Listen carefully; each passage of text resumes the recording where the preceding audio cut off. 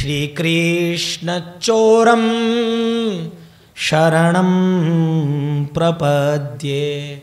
ऐसे चोरों में शिरोमणि चोर, भगवान श्री कृष्ण चंद्र चोर की मैं शरण ग्रहण करता हूँ।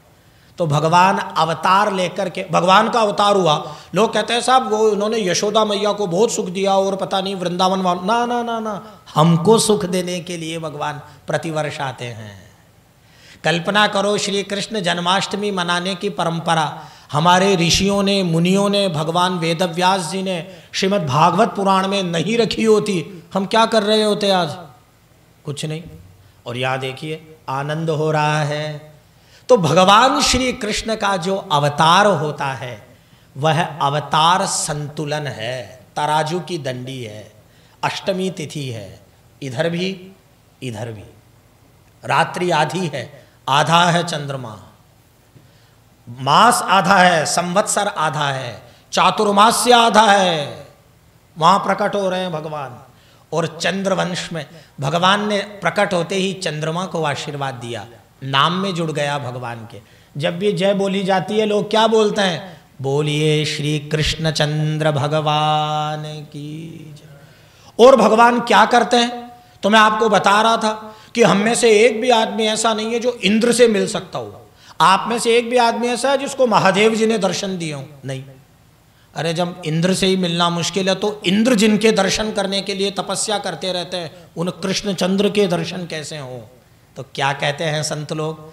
श्री रसखान जी महाराज, जो कि श्री वृंदावन धाम में प्रकट हुए, वो बता रहे हैं कि भगवान नंद नंदन क्या है। श्री नंद नयनानंदम नंद भगवान के, नंद बाबा के नयन को आनंद देते हैं भगवान। और क्या है भगवान? यशोदा नंद कंदुकम। कंदुक संस्कृत में कहते हैं गेंद को, बोल को। यशोदा जी के आनंद के वो गेंद हैं, उनको गोद में लिए घूमती है यशोदा जी। और क्या करते हैं? केवल नंद बाबा और यशोदा जी को ही आनंद देते हैं। क्या बोले? नो। गो गोप गोपिका गोपम। गाय को प्रेम करते हैं भगवान। जाइए गोविंद देव जी के दर्शन करने। गोमाता पीछे खड़ी है। गोप गायों को पालने वाले ग्वालों को आनंद देते हैं। भ्रमित हो गए ब्रह्मा जी। भागवत में लिखा उनकी लीला देख करके कि ये कैसे परमात्मा है। गो गोप गोपिका गोपम गोपीनाथम नमाम्य हम ये गोपीनाथ हैं भगवान। तो रसखान जी महाराज क्या कह रहे हैं? रसखान जी की कथा सुनाने के पहले मैं आपको एक बहुत जोरदार बात बताता हूँ। एक बार बड़ा गजब हुआ। भाई क्या हुआ?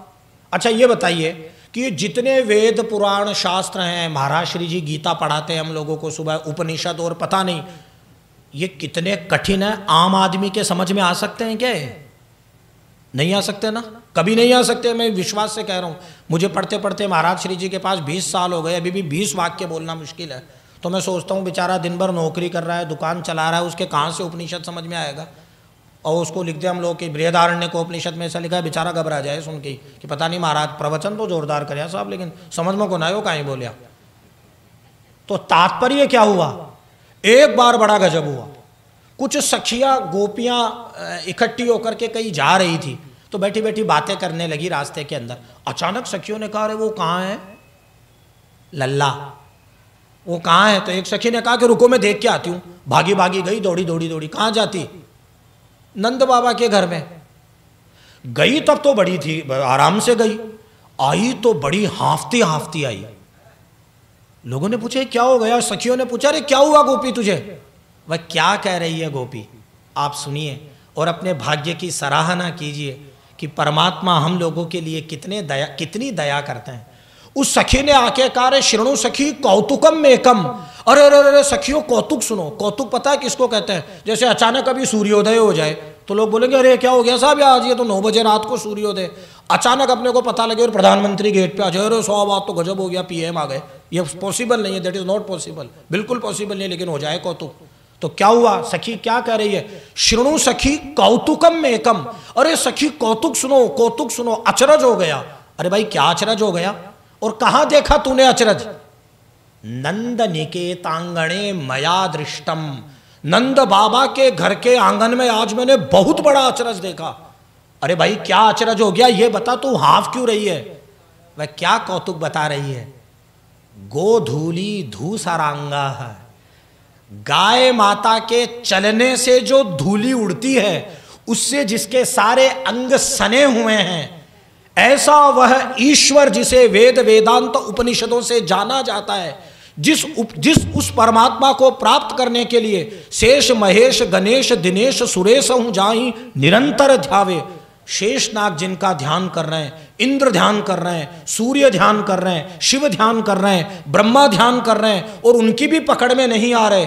जाहि अनादि अखंड अछेद अभेद अभेद सुवेद बतावे। वेद जिनको अखंड कह रहे हैं अवेद कह रहे हैं नेति नेति हम नहीं जानते उन कृष्ण के बारे में यह कह रहे हैं नारद से शुक व्यास रटे। नारद जी जिनके सतत कीर्तन का गान करते रहते हैं सुख सुखदेव जी महाराज जिनकी श्रीमद भागवत की कथा सुना रहे नारद से शुक व्यास रटे, सनकादिक जाको पार न पावे। और फिर भी कहते थे कि साहब, हम नहीं जानते कृष्ण तत्व क्या है। सनकाधिक ऋषि लोग बना कर देते हैं कि हम नहीं जानते कृष्ण तत्व क्या है। तो क्या कह रही है सखी? कि ऐसा जो वह ईश्वर है, शुणु सखी, कौतुकम एकम नंद निकेतांगणे मया दृष्टम। गोधूली धूसरांग है। वह परमात्मा नृत्यति वेदांत सिद्धांत है। सारे वेदांतों का सिद्धांत तो नंद बाबा के घर में नाच रहा है, वहाँ प्रकट हो गया है। ऐसे भगवान बालकृष्ण इसलिए अवतार ग्रहण करते हैं कि वे भक्तों को लीला प्रदान कर सके।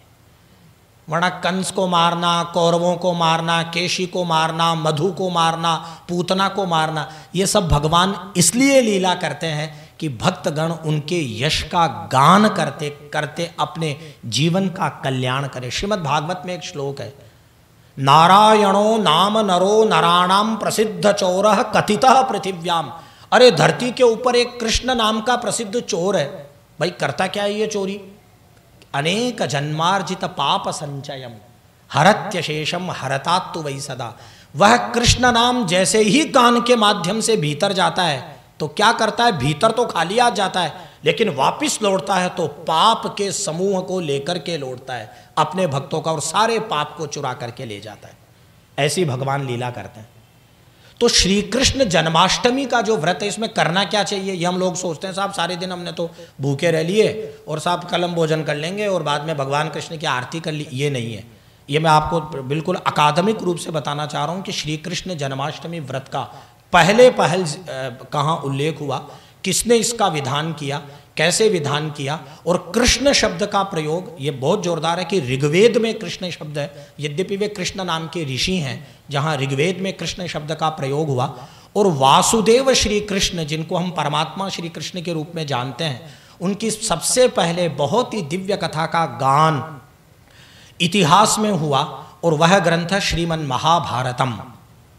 व्यास जी महाराज ने जो महाभारत का प्रणयन किया एक लाख श्लोकों में दिव्य ग्रंथ है वह। उस ग्रंथ में भगवान श्री कृष्ण को नीतिमान, कूटनीति का ज्ञानी राजनयिक दूत, गीता का उपदेष्टा, द्रौपदी मतलब अनाथ ही बोलूँगा मैं द्रौपदी को उस अवस्था में, अनाथ द्रौपदी के नाथ बनकर के उसकी रक्षा करने वाले अर्जुन के सखा, इस रूप में भगवान श्री कृष्ण को प्रकट किया भगवान वेदव्यास ने। कालांतर में, पुराणों में श्रीमद् भागवत महापुराण जो कि भगवान श्री कृष्ण के उस अलौकिक कृतित्व और अदम्य लोकोत्तर व्यक्तित्व, क्या मतलब वो भगवत्ता जो उनकी है, उससे हमारा परिचय करवाने के लिए भगवान वेदव्यास ने लिखा है, भागवत कथा वाले सुनाते हैं कि साहब सारे पुराण लिखने के बाद भी व्यास जी महाराज को शांति नहीं मिली। तो बद्रिकाश्रम में सेवा पूजा करते रहे। तो महादेव जी महाराज प्रकट हुए, भाई क्या दिक्कत है तुमको? इतना सब लिख दिया तुमने। बोले, महाराज, लिखा तो बहुत ज्ञान तो उन्होंने कहा, तुमने ज्ञान ही ज्ञान लिखा है ज्ञान से थोड़े कुछ भक्ति के लिए लिखो। लेकिन एक बात आप लोगों के जानने की है कि भगवान कृष्ण की कथा कहते हैं, वेदव्यास जी महाराज, उसके पूर्व वे राम जी की कथा कहते हैं। बड़े बड़े संत बताते हैं कि ऐसा क्यों किया? वो तो कृष्ण कथा लिखने के लिए बैठे थे तो राम जी की कथा क्यों? तो उन्होंने यही समझाया संतों ने कि साहब, राम जी की कथा यदि समझ में नहीं आएगी तो कृष्ण कथा में बावड़ा हो जाएगा आदमी, उसके समझ में ही नहीं आएगा कि ये करना क्या चाह रहे हैं भगवान। क्योंकि उनकी चरित्र ऐसे होते हैं कि जब राम जी के चरित्र पे रामचरित मानस में लिखा, संदेह करने लग जाते हैं भगवान, कि साहब भगवान ने ऐसा कैसे कर दिया? भगवान ने कर दिया। जबकि भगवान स्वयं कहते हैं, जन्म कर्म च में दिव्यम, एवं यो वेत्ति तत्वतः हे अर्जुन, मेरे जन्म और कर्म दिव्य हैं। दिव्य शब्द का अर्थ किया भगवान शंकराचार्य ने गीता भाष्य में, दिव्यम अपराकृतम। भगवान के ऊपर प्रकृति का कोई नियम नहीं लगता। इसलिए वे अंगूठे अपनी छोटी सी अंगुली के ऊपर गोवर्धन को उठा लेते हैं। वे समुद्र के अंदर पत्थरों को तिरा देते हैं। हम तिरा के बताए कि कोई भी? हम गोवर्धन क्या पाँच किलो का पत्थर उठा के बताएँ? बिल्कुल नहीं। भगवान का सब कृतित्व दिव्य दिव्य होता है। और वो कैसे दिव्य होता है? महाराज श्री जी यहाँ विराज रहे हैं, मैं बिल्कुल अधिक, मेरा तो बिल्कुल हृदय कंप हो रहा है, मैं कभी बोला नहीं हूँ और हम लोगों पे आशीर्वाद है। ये तो केवल ऐसे ही है, बालकांड की जैसे है, हम लोग तो जैसे ही बोल रहे हैं। तो एक कथा सुना करके भगवान के ही गुणों का हम लोग अनुवाद करते हैं और उसका ही गुणगान करते रहना चाहिए। तो वहाँ ये लिखा है कि साहब, जन्माष्टमी को सूर्योदय से पूर्व उठना चाहिए, भविष्योत्तर पुराण में। और ये भविष्योत्तर पुराण में यह कथा स्वयं श्री कृष्ण धर्मराज युधिष्ठिर को सुना रहे हैं। धर्मराजा युधिष्ठिर प्रश्न पूछते हैं कि महाराज, आपका प्राकट्य दिवस है तो भगवान उनको अपनी अपनी कथा सुना करके स्वयं कहते हैं। और उसमें लिखा है कि कीर्तन करना चाहिए भगवान के लिए। नृत्य करना चाहिए, भूखा रहना चाहिए और कथा सुननी चाहिए मेरे जन्म की। और भगवान कहते हैं मध्य रात्रि में आरती करनी चाहिए। ये सब भगवान ने लिखा। संयमित रहना चाहिए, भूमि पे शयन करना चाहिए, अन्न नहीं खाना चाहिए, दूसरे दिन पारणा करना चाहिए और एक वैशिष्ट्य वहाँ पे गजब है, जो इस बार प्राप्त हो गया। हर बार क्या होता है, अष्टमी तिथि होती है तो भगवान का जन्म नक्षत्र है रोहिणी। भगवान श्री कृष्ण किस नक्षत्र में जन्मे, याद रखिएगा। रोहिणी नक्षत्र में। भगवान रामचंद्र जी महाराज किस नक्षत्र में जन्मे? पुनर्वसु नक्षत्र में। तो जब नक्षत्रों के अनुसार ही पर्व मनाया जाता है, जो दक्षिण भारत की परंपरा है तो उसमें क्या होता है? कई बार अष्टमी आ जाती है तो रोहिणी इधर उधर हो जाता है। और रोहिणी नक्षत्र आ जाता है तो अष्टमी इधर उधर हो जाती है। लेकिन आज बड़ा सौभाग्य है मध्य रात्रि भी प्राप्त हो रही है। मध्य रात्रि में अष्टमी तिथि भी प्राप्त हो रही है। और भगवान की कृपा देखिए, रोहिणी नक्षत्र भी प्राप्त हो रहा है। तो सारी चीज़ें एक साथ प्राप्त हो गई। तो भगवान की इतनी बड़ी कृपा है कि मैं एक कथा छोटी सी सुना करके मैं फिर मेरी महाराष्ट्री जी को प्रणाम करूँगा। आचार्य चरण अभी कह रहे थे कि यह जो जयपुर की भूमि है जहाँ हम बैठे हैं, इसके भाग्य की क्या सराहना की जाए कि रामानंद संप्रदाय, जिसके पीठाधिपति एवं जिसके इस समय हम लोगों का नेतृत्व पूज्यपात श्री महाराज जी कर रहे हैं, उसका मुख्यालय है काशी में गंगा के किनारे श्रीमठ। आप लोग कई लोगों ने दर्शन किए होंगे। तो जब मुसलमान बरबर आतर आतताई आए और उन्होंने तोड़ दिया श्रीमठ को तो आपको जानकर क्या आश्चर्य होगा? यही जयपुर भूमि रामानंद संप्रदाय का मुख्य पीठ हो गई गलता के रूप में। और वहाँ क्या हुआ? यह गजब बात बताता हूँ आपको। गलता जी में राम जी का मंदिर कौन सा है, यह आपको जान के आश्चर्य होगा। अच्छा एक बात बताइए, राम जी ने कभी गाय चराई? क्या आपने कथा सुनी हो कभी? क्या साहब राम जी भी गाय चराने गए। नहीं गए ना। लेकिन गलता के आराध्य भगवान का नाम है मंदिर ठाकुर श्री राम गोपाल जी। ये राम गोपाल, ये रेवासा अग्रदेवाचार्य जी महाराज के यहाँ राम जी गोचारण करने जाते हैं लक्ष्मण जी महाराज के साथ। राम गोपाल जी के यहाँ गाय विराजमान है। ये रसिक संप्रदाय में जब हुआ तो गोपाल जो कृष्ण हैं, वे राम के रूप में होता। और जयपुर में तो एक काम और हुआ, कवि कलानिधि भट्ट श्री कृष्ण राम जी ने, जो कि 250 वर्ष पहले आमेर में थे उन्होंने राम जी के ऊपर लिखा कि राम जी ने सौ बार रास रचाए सीता जी के साथ तो सौ बार रचाने का संकल्प लिया। तो नन्यानवे तो राम जी ने खुद ने रचा लिए त्रेता युग में। एक रह गया वो कृष्णावतार में, द्वापर में आकर के। इतनी जोरदार राम गीता में एक महाकाव्य है संस्कृत का, इतना जटिल रामचरिताब्दि रत्नम उसकी ये कथा है जो ढाई सौ वर्ष पहले इस भूमि में लिखा गया। एक बात मैं आपको और निवेदन करता हूँ कि हमारे यहाँ वैष्णवों के जो संप्रदाय हैं, रामानंद संप्रदाय निम्बार्क संप्रदाय विष्णु स्वामी संप्रदाय, वल्लभ संप्रदाय तो आपको जान के आश्चर्य होगा कि इस राजस्थान की पुण्य भूमि में दो संप्रदायों के पीठ है, सलेमाबाद में निम्बारकाचार्य जी महाराज का और नाथद द्वारे में वल्लभ संप्रदाय का। देखो आप कितनी जोरदार भूमि है। एक बात और बताता हूँ, एक ब्रह्म सूत्र पर भाष्य, दार्शनिक भाष्य, जयपुर में ही लिखा गया गोविंद भाष्यम गोविंद देव जी महाराज के सामने लिखा होने के कारण आचार्य बलदेव उपाध्याय जी ने, आचार्य बलदेव थे वो, जिन्होंने भाष्य लिखा चैतन्य महाप्रभु के संप्रदाय का, वह गोविंद भाष्यम यही जयपुर में लिखा गया। तो उन्होंने जब लिखने के बाद सोचा, नाम क्या करे तो गोविंद देव जी महाराज को समर्पित कर दिया। तो ये गोविंद की नगरी है और यहाँ पे गोविंद देव जी महाराज स्वयं विराजमान है। इसीलिए आचार्य चरण उस वाक्य की तरफ़ संकेत कर रहे थे कि इस पुण्य भूमि को दू मतलब छोट, इसको कई बार लोग बाग बोल देते हैं, साहब, ये छोटी काशी है। ना ना ना, इसको अपरा काशी कहा गया है, दूसरी काशी। आज पंडित मधुसूदन ओझा जी का जन्मदिन है, उनकी भी जयंती है 145वीं तो ऐसे ऐसे पंडित यहाँ प्रकट हुए, एक से एक, जिन्होंने भगवान कृष्ण को लेकर के हज़ारों पृष्ठ लिखे। आज प्रातःकाल प्रवचन में महाराज श्री जी, देवर्षि कलानाथ शास्त्री जी के पिताजी को स्मरण कर रहे थे भट्ट मथुरानाथ शास्त्री जी। उन्होंने गोविंद वैभवम, संस्कृत में महाकाव्य यही जयपुर की भूमि में लिखा, और एक कथा जिसको भक्तमाल के टीकाकारों में श्री रसरंग मणि जी महाराज ने लिखा, उस कथा को सुना करके मैं अपनी वाणी को विराम दूँगा कि इस पुण्य भूमि में एक बार एक खेल हुआ कि एक रामानंद संप्रदाय के बड़े सिद्ध महात्मा थे, गृहस्थ महात्मा। पढ़ाते थे बच्चों को गीता और सब ऐसे ही समय करते थे, बहुत संसाधन नहीं थे। और दरिद्रता कई बार पीछा नहीं छोड़ती। भगवान जब कृपा करते हैं तो लिखा है पुराणों में, वित्तम तस्य आराम्यम। भगवान ने जिस पे भी कृपा करी है, सबसे पहले वो गरीब होता है। ये पता नहीं भगवान की क्या चक्कर है। ये जोरदार ही लीला करते हैं। संसार में जितने बली हुए पिछले पाँच हज़ार वर्षों में, लिखा है कि भीम और अर्जुन जैसा कोई नहीं हुआ। बेचारे तेरह साल तक उनकी क्या गति हुई वो आपको बताने की ज़रूरत नहीं है। तब कृष्ण प्रकट हुए उनकी रक्षा करने के लिए धर्म क्षेत्र कुरुक्षेत्र में। अर्जुन के सारथी बन गए। भक्तों सी में सखा चेती। भगवान साक्षात सखा कह रहे हैं अर्जुन को कि तुम मेरे सखा हो, लेकिन देखो आप कितना बेचारे राज्यहीन, श्रीहीन, सब कुछ छीन लिया। नराधम दुर्योधन ने और महाभारत का इन दिनों में अध्ययन कर रहा हूँ तो श्री कृष्ण को इतना गंदा बोला है, जब उसकी जंगा तोड़वा दी, कि उसकी आप कल्पना भी नहीं कर सकते क्या क्या आरोप लगाए श्री कृष्ण के ऊपर। तो यहाँ पे महात्मा थे गृहस्थ, सदगृहस्थ महात्मा, पढ़ाते थे अपना, भगवान का भजन करते थे, तीन उनके पुत्र थे। तो कई भगवान का मंदिर था, वहाँ पे गीता जी का अध्ययन करवाते थे, विप्र बालकों को, बच्चों को गीता पढ़ाते थे। तो गीता पढ़ाते थे तो बिल्कुल रामानुजाचार्य जी ने ये लिखा है, शंकराचार्य जी ने ये लिखा है, वल्लभाचार्य जी ने ये लिखा है। बहुत निष्ठा से, भगवान में बहुत मन था। एक दिन बड़ा गजब हुआ पढ़ाते पढ़ाते।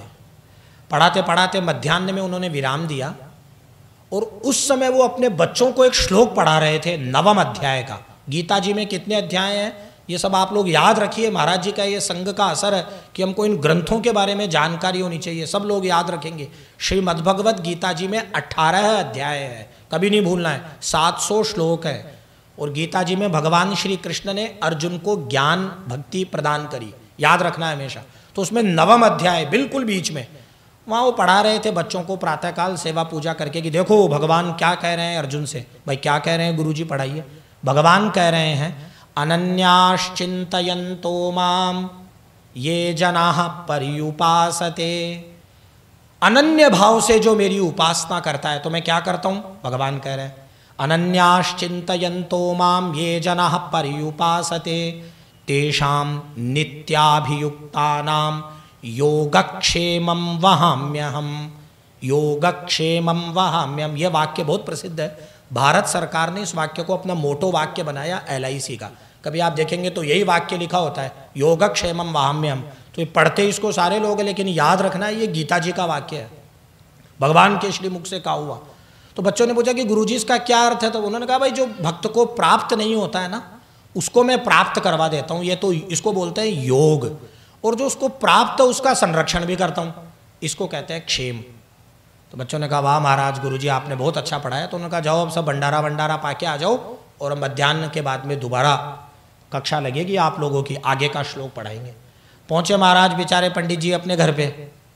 पहुँचे तो द्वार पे बेचारे बच्चे बिल्कुल रो रहे और पत्नी को पूछा उन्होंने, भाई, क्या हुआ आज? तो उन्होंने कहा कि पंडित जी महाराज, कुछ नहीं हुआ, आप तो परम भक्तराज हैं। ये सब हमको सांसारिक लोगों को फ़र्क पड़ता है। आइए अंदर। अंदर चतुर्भुज भगवान विष्णु की प्रतिमा थी घर में। उनके सामने भोजन की थाली में केवल एक जल का ग्लास रखा हुआ था और उसमें तुलसी पत्र छूटा हुआ था। इसके अतिरिक्त घर में पाने को कुछ नहीं था। पंडित जी महाराज ने प्रणाम किया भगवान को, आसन पर बैठे। उसी में से गोमाता को जो गोग्रास निकालना था, जल में से ही निकाल दिया। देवताओं को भोग लगा दिया, पितरों को भोग लगा दिया। वही दो ग्लास जल पिया और उठ करके वापस भगवान के मंदिर में चले गए, जहाँ बच्चों को गीता पढ़ा रहे थे। और वहाँ जब बच्चे आने लगे तो बच्चों को उन्होंने कहा कि बच्चों, एक बात तुमको बतानी है। तो बोले, कहो गुरु जी बोले, जो सुबह मैंने श्लोक पढ़ाया था, यह श्लोक गीता का नहीं है। ये भगवान ने नहीं कहा। मैं अनन्य भाव से उनकी पूजा करता हूँ। उनके अतिरिक्त मैं किसी के आज तक मैंने नमस्कार नहीं किया। तन से मन से किसी का ध्यान नहीं किया। किसी को प्रणाम नहीं किया। मेरे वे ही आश्रय हैं। सब मेरे परिवार वाले भूखे हैं। इसलिए इस श्लोक को मत पढ़ो। तो बच्चों ने कहा कि लिखा हुआ है तो क्या करें गुरुजी? तो चंदन की कटोरी पड़ी थी, बोले इस पर चंदन फेर दो। इस श्लोक का पाठ नहीं करना, ये भगवान ने नहीं कहा। यशोदानंदन कृष्ण ने। बच्चों ने फेर दिया। उसके आगे के तीन, चार, पाँच श्लोक पढ़ाए पंडित जी ने। शाम को घर पहुँचे महाराज। घर पहुँचे तो पंडितानी जी ने गेट पे ही पकड़ते हुए पंडित जी को कहा कि, अरे, आपने इतना सामान भेज दिया कि अभी उतर करके पूरा हुआ है। पंडित जी ने पूछा, कौन सा सामान? बोले, आइए आइए। अंदर गए तो गेहूँ, घी, तमाम सारे मसाले, पूरे पदार्थ, बड़े दिव्य। तो उन्होंने पूछा, यह सामान कहाँ से आ गया? तो पंडित जी की पत्नी ने कहा कि, आपने ही तो किसी विद्यार्थी को भेजा था, छोटे से विद्यार्थी को। पूछा पंडित जी ने, क्या नाम था उस विद्यार्थी का? बोले, उसने कहा, मुझे गुरुजी ने भेजा है। गुरुजी से मैं गीता पढ़ता हूँ। गुरुजी कह रहे थे कि मैं कक्षा पढ़ाने में विलंब होगा, तुम जाओ और ये सामान मेरे घर छोड़ आओ, सब बच्चे भूखे हैं। तो बोले, उसका नाम क्या था? बोले, नाम तो कृष्ण बता रहा था अपना। तो बोले, तुम उसे पहचान सकती हो? देखिए आप, उसने कहा, लेकिन आपका शिष्य बड़ा जोरदार था, मैं उसे पहचान नहीं सकती। पंडित जी ने पूछा, क्यों नहीं पहचान सकती? बोले, महात्मा और बच्चे तो मस्तक पे तिलक लगाते हैं, उस कृष्ण ने तो पूरे मुँह पर ही चंदन मल रखा था। उसका मुँह का एक भी हिस्सा ऐसा नहीं था जिसपे चंदन नहीं हो। ऐसे जो भगवान अपने भक्तों पे दया करते हैं, मीरा जी पे दया करते हैं नरसिंह जी पे दया करते हैं, सूरदास जी महाराज पे दया करते हैं, किस, किसको भगवान ने नहीं तारा, सबको तार दिया। गो सूरदास जी महाराज के इस पद से मैं अपनी बात को समाप्त करता हूँ। सूरदास जी महाराज के पद लिखने का एक तरीका है और सूरदास जी महाराज जब पद लिखते हैं तो भगवान को याद दिला देते हैं। किसी ने लिखा सूर सागर में कि सूरदास जी महाराज जब पद लिखते हैं तो उनकी पद्धति है कि वे बड़े बड़े भक्तों की चर्चा करके भगवान को पहले याद दिलाते हैं कि, हे भगवान, याद कीजिए आपने क्या क्या किया है और कैसे याद दिलाते हैं? दीन अन दुख हरण देव संतन हितकारी। हे भगवान, आप तो दीनों के दुख को हरते हैं, संतों के हितकारी हैं। तो भगवान ने पूछा, मैंने किसका भला कर दिया? बताओ। तो सूरदास जी महाराज ने भगवान को ही पूछ लिया, अजामील गीध व्याध इनमें कहो कौन साध? यदि साधु होने से ही आप उद्धार करते हो तो बताओ अजामिल कौन सा साधु था? वह गिद्ध जटायु जिसको आपने गोद में लेकर के अपने हाथ से, जटायु की धूर जटा न समारी अपनी जटाओं में ऐसे आप जटायु के चरण धूलि को साफ़ कर रहे हो, वह कौन सा साधु था? मांस खाता था, तमाम उसमें दुर्गुण थे, नरा, किस तरह का अधम योनि में था? अजामील गीध व्याध, इनमें कहो कौन साध? और आपकी क्या बात है भगवान? पंछी को पद पढ़ा तो गणिका सी तारी पंछी को राम राम राम बुलवाते आपने एक वेश्या को ही तार दिया। आपका कोई नियम कानून भी है या नहीं? भगवान ने पूछा, दूसरी बात बताओ। इसके बाद में, ध्रुव के सिर छत्र देत। सात वर्ष के बालक को आपने आकर के दर्शन, शंख स्पर्श करवा के स्तुति करवा दी। प्रसन्न हो गए, अचल पद दे दिया। पायो अचल अनुपम ठाऊ अचल पद दे दिया ध्रुव को सात वर्ष के बालक पे। ध्रुव के सिर छत्र देत प्रहलाद को उबार लेत। प्रहलाद को उबारने के लिए आपको खुद को नहीं पता कि आप मनुष्य थे या पशु थे या थे क्या आप। आपको खुद को अता पता नहीं है इतने आप मतलब उसमें उत्साह में आ गए। और क्या किया आपने? अजामील गीत व्याध इनमें कहो कौन सा, सा वो ध्रुव के सिर छत्र देत प्रहलाद को उबार लेत। और बोले आपकी बात बताऊँ मैं? आप कितने आप कितने जोरदार हो, भगवान ने कहा, बताओ तो। भक्त हेत बांध्यो सेत। सुना किसी ने समुद्र को भी कोई बाँध सकता है? भक्त विभीषण के लिए समुद्र को बाँध दिया आपने। लंकपुरी जारी। सोने की लंका को तहस नहस करवा दिया आपने, अपने भक्त के लिए। और क्या किया आपने? भगवान ने पूछा। और मैंने क्या किया? बताओ, तुमको क्या चाहिए? वो कहते हैं कि महाराज, मैं तो छोटा सा आदमी हूँ। सभा बीच गजको जब ग्राह ग्रस्यो, मनुष्यों पे ही नहीं, आप तो पशुओं पे भी दया करते हो महाराज। वो हाथी कोई आपका रिश्तेदार लगता था क्या, जिसको बचाने के लिए आ गए? गज को जब ग्राह ग्रस्यो, दुशासन चीर खस्यो। सभा के बीच में दुशासन आपकी बहन द्रौपदी का चीर खींचने लगा। सभा बीच राम कृष्ण द्रौपदी पुकारी। और द्रौपदी ने आपको बुलाया और झट से आ गए आप, और आपने किया क्या? इतने हरि आए गए। जैसे ही बुलाया, कृष्ण कृष्ण, द्वारका वासिन, तुरंत आ गए। इतने हरि आए गए। बसनन आरूढ़ भय। हे भगवान, अंतिम वाक्य को आप लोग बहुत गौर से सुनिएगा। भक्त किसको कहते हैं? सूरदास जी महाराज का क्या महत्व है? मतलब है, आपको पता चलेगा इस वाक्य में। इतने सब भक्तों की चर्चा करने के बाद में अंतिम वाक्य में गो श्री सूरदास जी महाराज कह रहे हैं, इतने हरि आए गए, बसनन आरूढ़ भय। हे भगवान इन सब का आपने कृपा पूर्वक कल्याण कर दिया, इनको भक्त बना दिया। एक कृपा और करो, ये सूर्यदास द्वारे खड़ो, आंधरो भिखारी। ये अंधा भिखारी सूरदास आपके चरणों में खड़े होकर के, आपकी दुहाई दे करके आपसे अपने कल्याण की प्रार्थना करता है। हे दीनन दुख हरण देव, हे संतन हितकारी, हे जनार्दन, हे वासुदेव, हे नारायण, इस अंधे सूरदास का भी उद्धार करो। सूरदास जी की प्रार्थना ही हम सभी के लिए भी कारगर हो। महाराज श्री, हम लोगों को उस मार्ग पर ले जा रहे हैं, जिस मार्ग पे जाना और चलना बड़े बड़े योगियों और यतियों के लिए भी कठिन है। हम सब लोगों ने इतने पाप किए हैं कि ना हमारा धर्म में मन लगता है न कीर्तन में मन लगता है, न प्रवचन में मन लगता है, न भगवान की कथा में मन लगता है। और हम जब पुण्य करते हैं तो कितना प्रचार करते हैं। अभी मैं नाम नहीं लूँगा। बाहर कोई आदमी किसी को फ़ोन पे कह रहा था कि आज तो जन्माष्टमी है, महाराज के आया हूँ। हम पुण्य करते हैं तो कितना प्रचार करते हैं और पाप करते हैं तब? किसी को बताते भी नहीं है, इसीलिए लिखा है कि पाप करते समय मनुष्य जैसे सावधान होता है, चौकन्ना होता है। कोई पाप करते हुए देख नहीं ले कुछ कोई देख नहीं ले, किसी को पता नहीं चल जाए। उतनी एकाग्रता से जब हम भगवान के लिए पुण्य करने लगेंगे तो हम भी साधु हो जाएँगे। हम भी सूरदास जी और तुलसीदास जी महाराज की परंपरा में आ जाएँगे। हम भी मीरा जी के जैसे जहर पियेंगे तो वो अमृत हो जाएगा। बोलिए श्री बाल कृष्ण भगवान की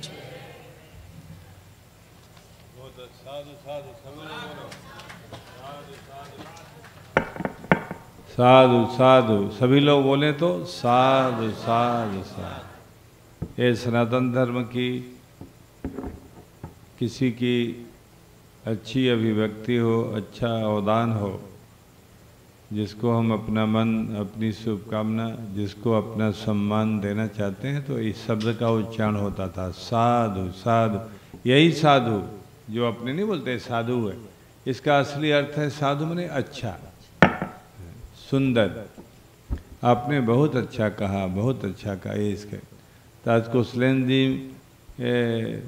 आपको पहचान में आ रहे थे कि ये कुशलेन जी ना ना, हमें तो नहीं आ रहे थे, इसलिए हमने मुँह इधर कर लिया।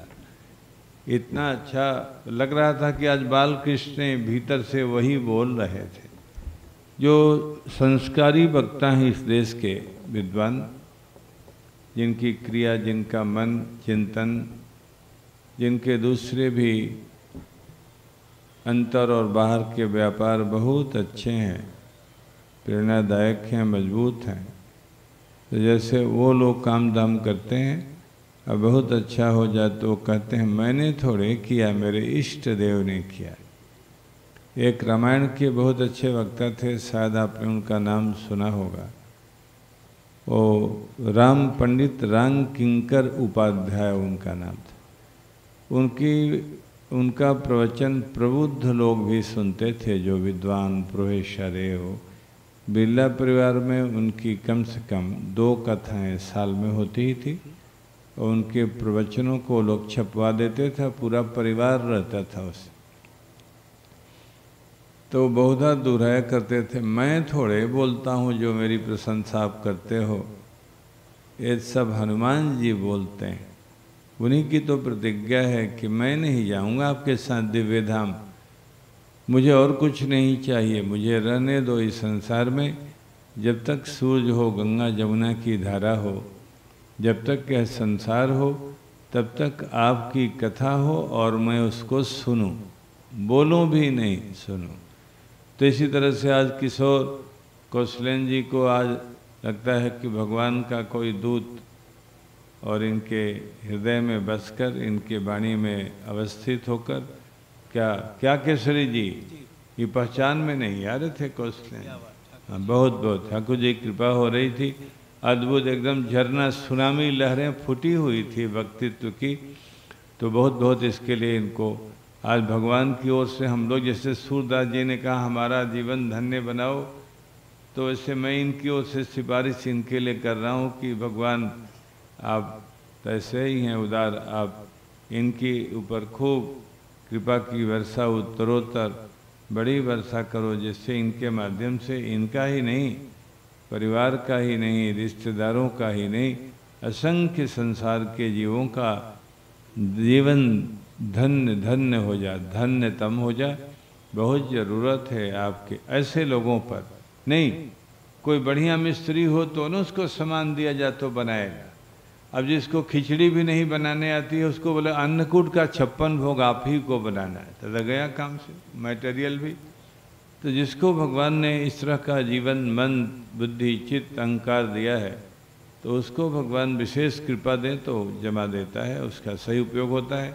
मैं दो शब्द, केसरी जी हमारे बड़े प्रिय हैं, और केवल हम सब लोगों के स्नेह के कारण ही यहाँ पर उपस्थित होते हैं।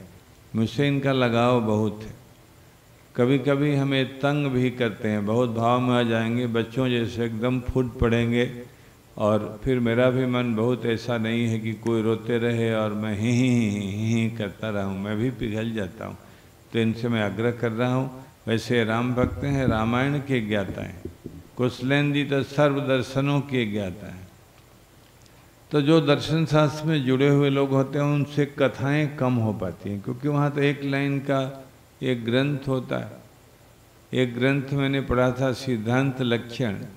तो उसमें व्याप्ति का जो अंतिम लक्षण है, वो एक वाक्य था।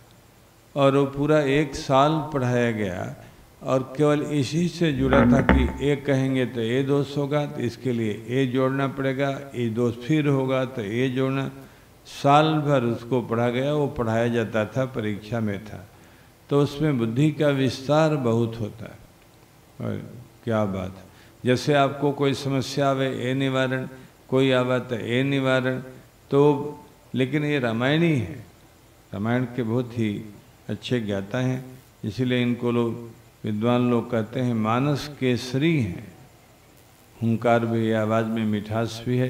तो मैं इनसे आग्रह कर रहा हूँ कि आप अपनी मधुरी, गंभीर वाणी से, हृदय को छूने वाली वाणी से कम शब्दों में आज इस अवसर पर ये बतलाएँ ना कि हम लोग, हम लोगों के तिलक है ललाट पर राम जी का, गले में माला भी राम जी की, हमारा सब कुछ राम जी की है।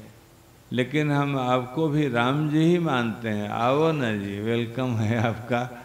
हम आपको दूसरा नहीं मानते। कृष्ण और राम को जो अलग अलग माने तो उसको कहाँ गुजारा है? नहीं नहीं। माता पिता को अलग अलग माने माता पिता के भाई को अलग माने। तो तो बहुत बड़ा गलत आदमी नहीं क्या रहा है? जैसे यहाँ अभी भजन गाया जनकपुर के लोगों ने फिर यहाँ के लोगों ने तो हम लोगों ने जनकपुर वालों को तो इतने दिनों से अपना माना ही आगे भी मानेंगे उनको भी अपना माना। ये नहीं माना कि है वो, वो एक कैसे? जो भगवान के लिए समर्पित है गा रहा है बजा रहा है भक्त लोग नाच रहे थे तो मैं आया तो ये लोग गायब हो गए संकोच से लिहाज से। बाकी हमने कौन सा इनको पनिशमेंट करना था? आइए। गरजिए तो फिर इसके बाद मैं दो शब्द कहूँगा। भगवान समारंभम रामानंदार्ज मध्यमम अस्मदाचार्य पर्यंताम वंदे गुरु परंपरा कृष्णाय वासुदेवाय हरे परमात्मने प्रणतक्लेशनाशाय गोविंदाय नमो नम। सज्जिदानंद रूपाय विश्व विशुत्यादि हेतु तापत्रे विनाशाय श्री कृष्णाय वेम नमः। गोविंद जय जय गोपाल जय जय गोविंद। राधा रमन हरि गोविंद जय जय रा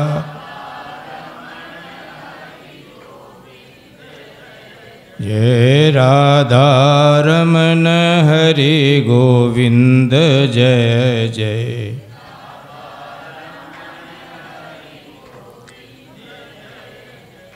परमाध्यक्ष,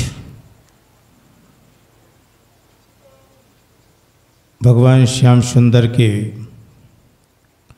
ज्ञान स्वरूप गुरु के रूप में प्रकट प्रत्यक्ष अनुभूति कराने वाले धर्मशास्त्र निष्णात पूज्यपाद आचार्य प्रवर, शास्त्रीय सिद्धांत के अभिभूत जीवन जीवन जीने वाले श्री कौशलेंद्र जी, श्रीधाम श्रीमठ से पधारे हुए सभी आचार्य प्रवर, भक्तजन, भागवतजन, माताओं, बहनों, बंधुओं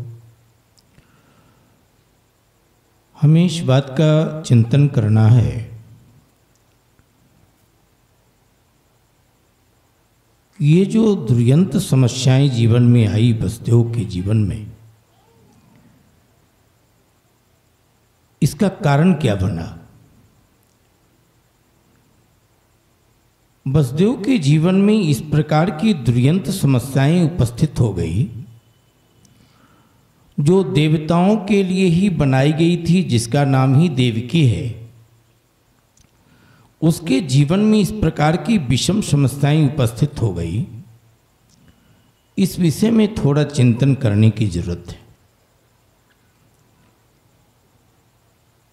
वास्तविकता यह है कि जब कभी भी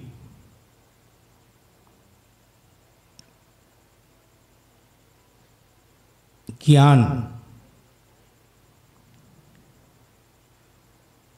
यदि इंद्रियों से प्रेम करने लग जाए,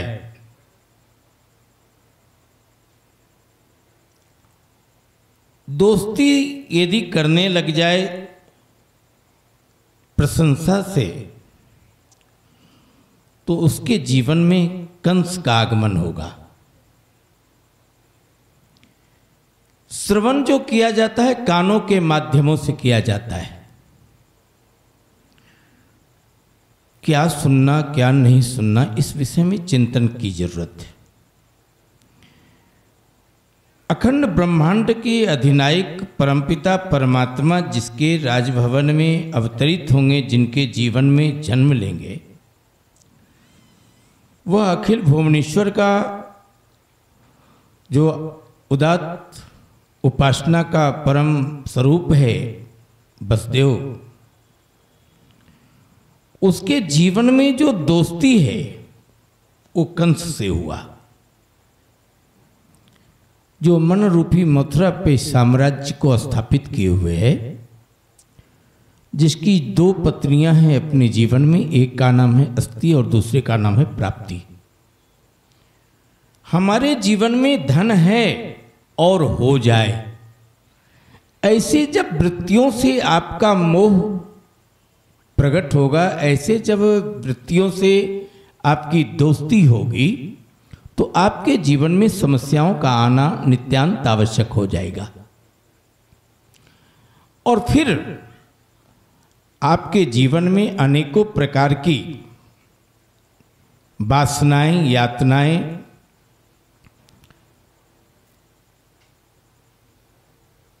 पैरों में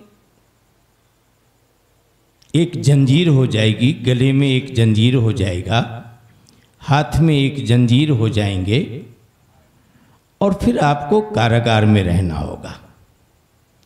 जो कठोरतम कष्ट का कारक है। इसलिए आप अपने जीवन में कभी भी मन की जो वृत्तियाँ हैं अस्थियो प्राप्ति। उस मन रूपी मथुरा के जो अधिष्ठात्र देवता हैं, जिसका नाम कंस है, उससे दोस्ती मत करो।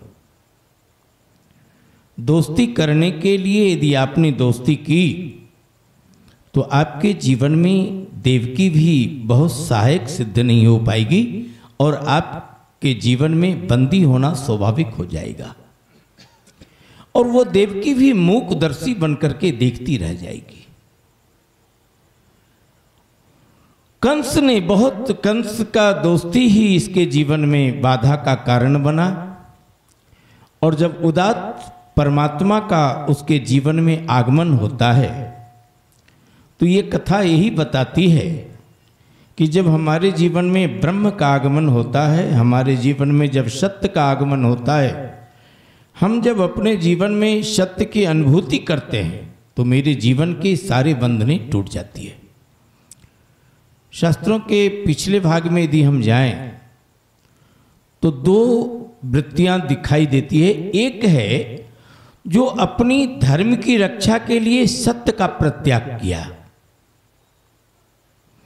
और एक है जो अपनी धर्म की रक्षा के लिए अपने प्राणों को बलिवेदी पे चढ़ा दिया। एक है जो अपनी धर्म की रक्षा के लिए मृत्यु को भी स्वीकार किया है, मगर उसने जो है सत्य को बचाने का प्रयास किया, धर्म को बचाने का प्रयास किया। उसका नाम है बसदेव। और चक्रवर्ती सम्राट दशरथ केवल अपने बात को रखने के लिए, अपनी सत्यता को जग ज़ाहिर करने के लिए उन्होंने धर्म का प्रत्याग कर दिया। भगवान राघवेंद्र जंगल की ओर चले गए। इन्होंने सत्य को त्याग दिया, मगर धर्म को बचाया। इन्होंने वायदा किया था कंस से कि मैं सभी संतान तुम्हारे जीवन में दे दूँगा, तुम्हारे हवाले कर दूँगा। ये जो छह प्रकार की हमारे जीवन की जो दुष्प्रवृत्तियाँ हैं, वह दुष्प्रवृत्तियों को कंस के हवाले कर दिया हम अपने जीवन की समग्र दुष्प्रवृत्तियों को कंस के हवाले करें, मगर जो सदवृत्ति रूपी परमात्मा है, हम उसके हाथ ना जाने दें। हम उसको तो नंद के हवाले कर दें, हम उसे जसोदा के हवाले कर दें, हम उसे देवकी के हवाले करें। कदाचित तो कंस के हवाले ना जाए। ये बात का हमें चिंतन करना होगा। उन्होंने अपने जीवन में विषम परिस्थितियों में भी भगवान को अर्थात धर्म को त्यागना पसंद नहीं किया। कंस के हवाले करना पसंद नहीं किया।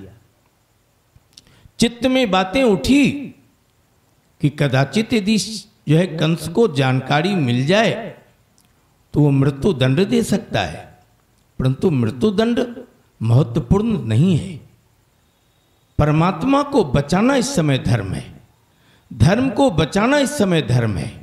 यदि परमात्मा श्याम सुंदर सुरक्षित नंद के हवाले हो जाएँ, देव जो है जसोदा के हवाले हो जाएँ तो कल मैं भी अपने जीवन में स्वतंत्र हो जाऊँगा और कंस से समग्र समग्र राष्ट्र कंस की प्रवृत्तियों से बच जाएगा। आप चित्त में इस बात को रखें कि जब हमारे जीवन में परमात्मा आएँगे तो हमारे जीवन की जितनी भी वासनाएँ हैं, वो सभी वासनाएँ उपासना हो जाएगी। और जब हमारे जीवन की सभी वासनाएँ उपासना हो जाएगी तो परमात्मा हमारे जीवन में प्रकट हो जाएगा। और जब हम परमात्मा हमारे जीवन में प्रकट हो जाएगा तो हमारे जीवन में आनंद आएगा, हमारे वृत्ति में आनंद आ जाएगी, हमारी दृष्टि में आनंद आ जाएगी। ये नंद जो है, नंद बने आनंद। जो सबको आनंदित करता है, उसे हम कृष्ण कहते हैं। कृष्ण ये स्वयं भगवान है, कृष्ण भगवान स्वयं। एक बात बहुत अच्छी कही गई आ कृष्णेन कृष्ण, जो सभी अपनी ओर सबको खींच रहा है, उसी का नाम कृष्ण है। वास्तविकता ही है। इसमें रकार लगा हुआ है, इसलिए जो है परमात्मा राम के गुण हैं। जो भगवान राघवेंद्र का स्वभाव है, भगवान राघवेंद्र के जो यश हैं वह भी भगवान में समाहित, कृष्ण में समाहित। हम एक आंदोलन के रूप में कृष्ण को देखें। उनके जो चरित्र हैं, उस चरित्र का जो आंकलन आप करें तो ये समझें कि जिस परिस्थिति में भगवान कृष्ण का अवतार हुआ था, उस समय की परिस्थितियाँ क्या थी? दूध मेरा, दही मेरा, घी मेरे घर का, मगर मैं अपने संतान को नहीं दे सकता था। कंस के यहाँ देना पड़ता था। भगवान ने जो है वो दूध, दही, घी को लोगों ने उनके जीवन को सुरक्षित रखने के लिए चोर की उपाधियों से सम्मानित कर दिया। मगर मैं आग्रह कर रहा हूँ, भगवान कृष्ण, भौतिक चोर नहीं है। भगवान भौतिक पदार्थों का चोरी नहीं करते। जिनके यहाँ सवा लाख गाय है, वो दूध क्या क्या चोरी करेगा? वो तो केवल अपने जो उनके साथ में भक्त थे, सखा था मधुमंगल हो, चाहे शिरदामा हो, चाहे वो सुदामा हो, या मनसुखा हो, या अन्य भी, उनको सुरक्षित करना था परमात्मा को। उन्होंने एक अभियान के तहत ये अभियान अभियान चलाया कि अपने बच्चों को सुरक्षित करो, अपने समाज को बचाओ, अपनी व्यवस्थाओं को बनाओ, रूढ़वाद से बचने की प्रयास करो ये ढकोसलावाद जो उस जमाने में चल रहे थे, वो ढकोसलावाद को दूर करने का प्रयास किया। उन्होंने वृक्षों का संरक्षण कैसे हो, पर्वतों का संरक्षण कैसे हो, उसके लिए एक नैतिक प्रयास किया। पशुओं का संरक्षण कैसे हो, उसके लिए एक नैतिक प्रयास किया परमात्मा कृष्ण ने, जिसका जीता जागता उदाहरण गोवर्धन पूजन है। वृक्षों की यदि सुरक्षा होगी, पर्यावरण सुरक्षित होगा, ऑक्सीजन मिलेंगे। यदि पर्वतों की सुरक्षा होगी, गोचर की भूमि सुरक्षित होगी, गौ सुरक्षित होगी, धर्म सुरक्षित होगा। हम बलवान और परपुष्ट होंगे। वृक्षों का भी जितना ज़्यादा सुरक्षा वृक्षों का ज़रूरी है, उतनी ही ज़्यादा सुरक्षा पर्वतों की ज़रूरी है, उतनी ही ज़्यादा सुरक्षा गोचर भूमियों की ज़रूरी है, उतनी ही सुरक्षा गौ के लिए ज़रूरी है, उतनी ही सुरक्षा आम नागरिकों के लिए ज़रूरी है। भगवान कृष्ण स्वयं नहीं खाते, दूसरे को खिलाते। ये कथा से आप ज्ञान लीजिए कि दूसरे के हित के लिए आपका जन्म हुआ है, स्वयं के लिए नहीं। भगवान कृष्ण कभी भी अपने लिए नहीं सोचते दूसरे के लिए। उन्होंने यदि मान लिया जाए अवतार भगवान कृष्ण का नहीं होता तो ये जो कुब्जा का उद्धार हुआ, कैसे होता? यदि भगवान कृष्ण का अवतार ना हुआ होता तो सुदामा का और कृष्ण की जो मित्रता का एक उदाहरण हम प्रस्तुत करते हैं, वो कैसे होता? यदि भगवान कृष्ण का अवतार ना होता तो ये जो महिलाओं के लिए ये जो चर्चाएँ आती है चीर हरण की, इसकी हम बात नहीं कर पाते। ये चीर हरण के लोगों ने, कथावाचकों ने गलत अर्थ कर दिया। जब संपूर्ण कृष्ण चरित्र का आप अध्ययन करेंगे तो पता चलेगा कि कौन सी लीलाओं को भगवान कृष्ण ने कब किया है। उनका टाइम है, समय है, इस उम्र में ये, इस उम्र में ये, इस उम्र में ये। ये जो चीर हरण की लीलाएँ हैं, उसमें ये बताया जा रहा है कि महिलाएँ यमुना जी में स्नान करने जाती हैं, वस्त्रों को त्यागती हैं। तो भगवान कृष्ण ने कहा, ये सिस्टम गलत है। ये वस्त्रों को त्याग करके यमुना स्नान नहीं करना चाहिए, क्योंकि उसके अंदर भगवान रहते हैं। जल का जो देवता है, अधिष्ठात्र देवता, वरुण जी निवास करते हैं। तो उन्होंने जो है मन, बुद्धि, चित्त की वृत्ति को शुद्ध करने के लिए चीरहरण की लीला किया, जो ये जो चीर है, मल है, विक्षेप है, आवरण है, ये तीनों को भगवान कृष्ण ने अपहरण किया है। हमारे जीवन से मल, विक्षेप जब आवरण तीनों दूर हो जाए, तब हमें भगवान का साक्षात्कार होगा। जब भगवान का साक्षात्कार होगा, तब हमारे जीवन का कल्याण होगा। इन्हीं शब्दों के साथ आप लोगों का मंगल कामना करता हुआ भगवान श्री कृष्ण के चरणों में अपनी वाणी को विराम। जय श्री राम। साधु साधु कर ही नहीं है आप लोग। साधु साधु साधु। क्या बात है? जोरदार। जोरदार हो गया।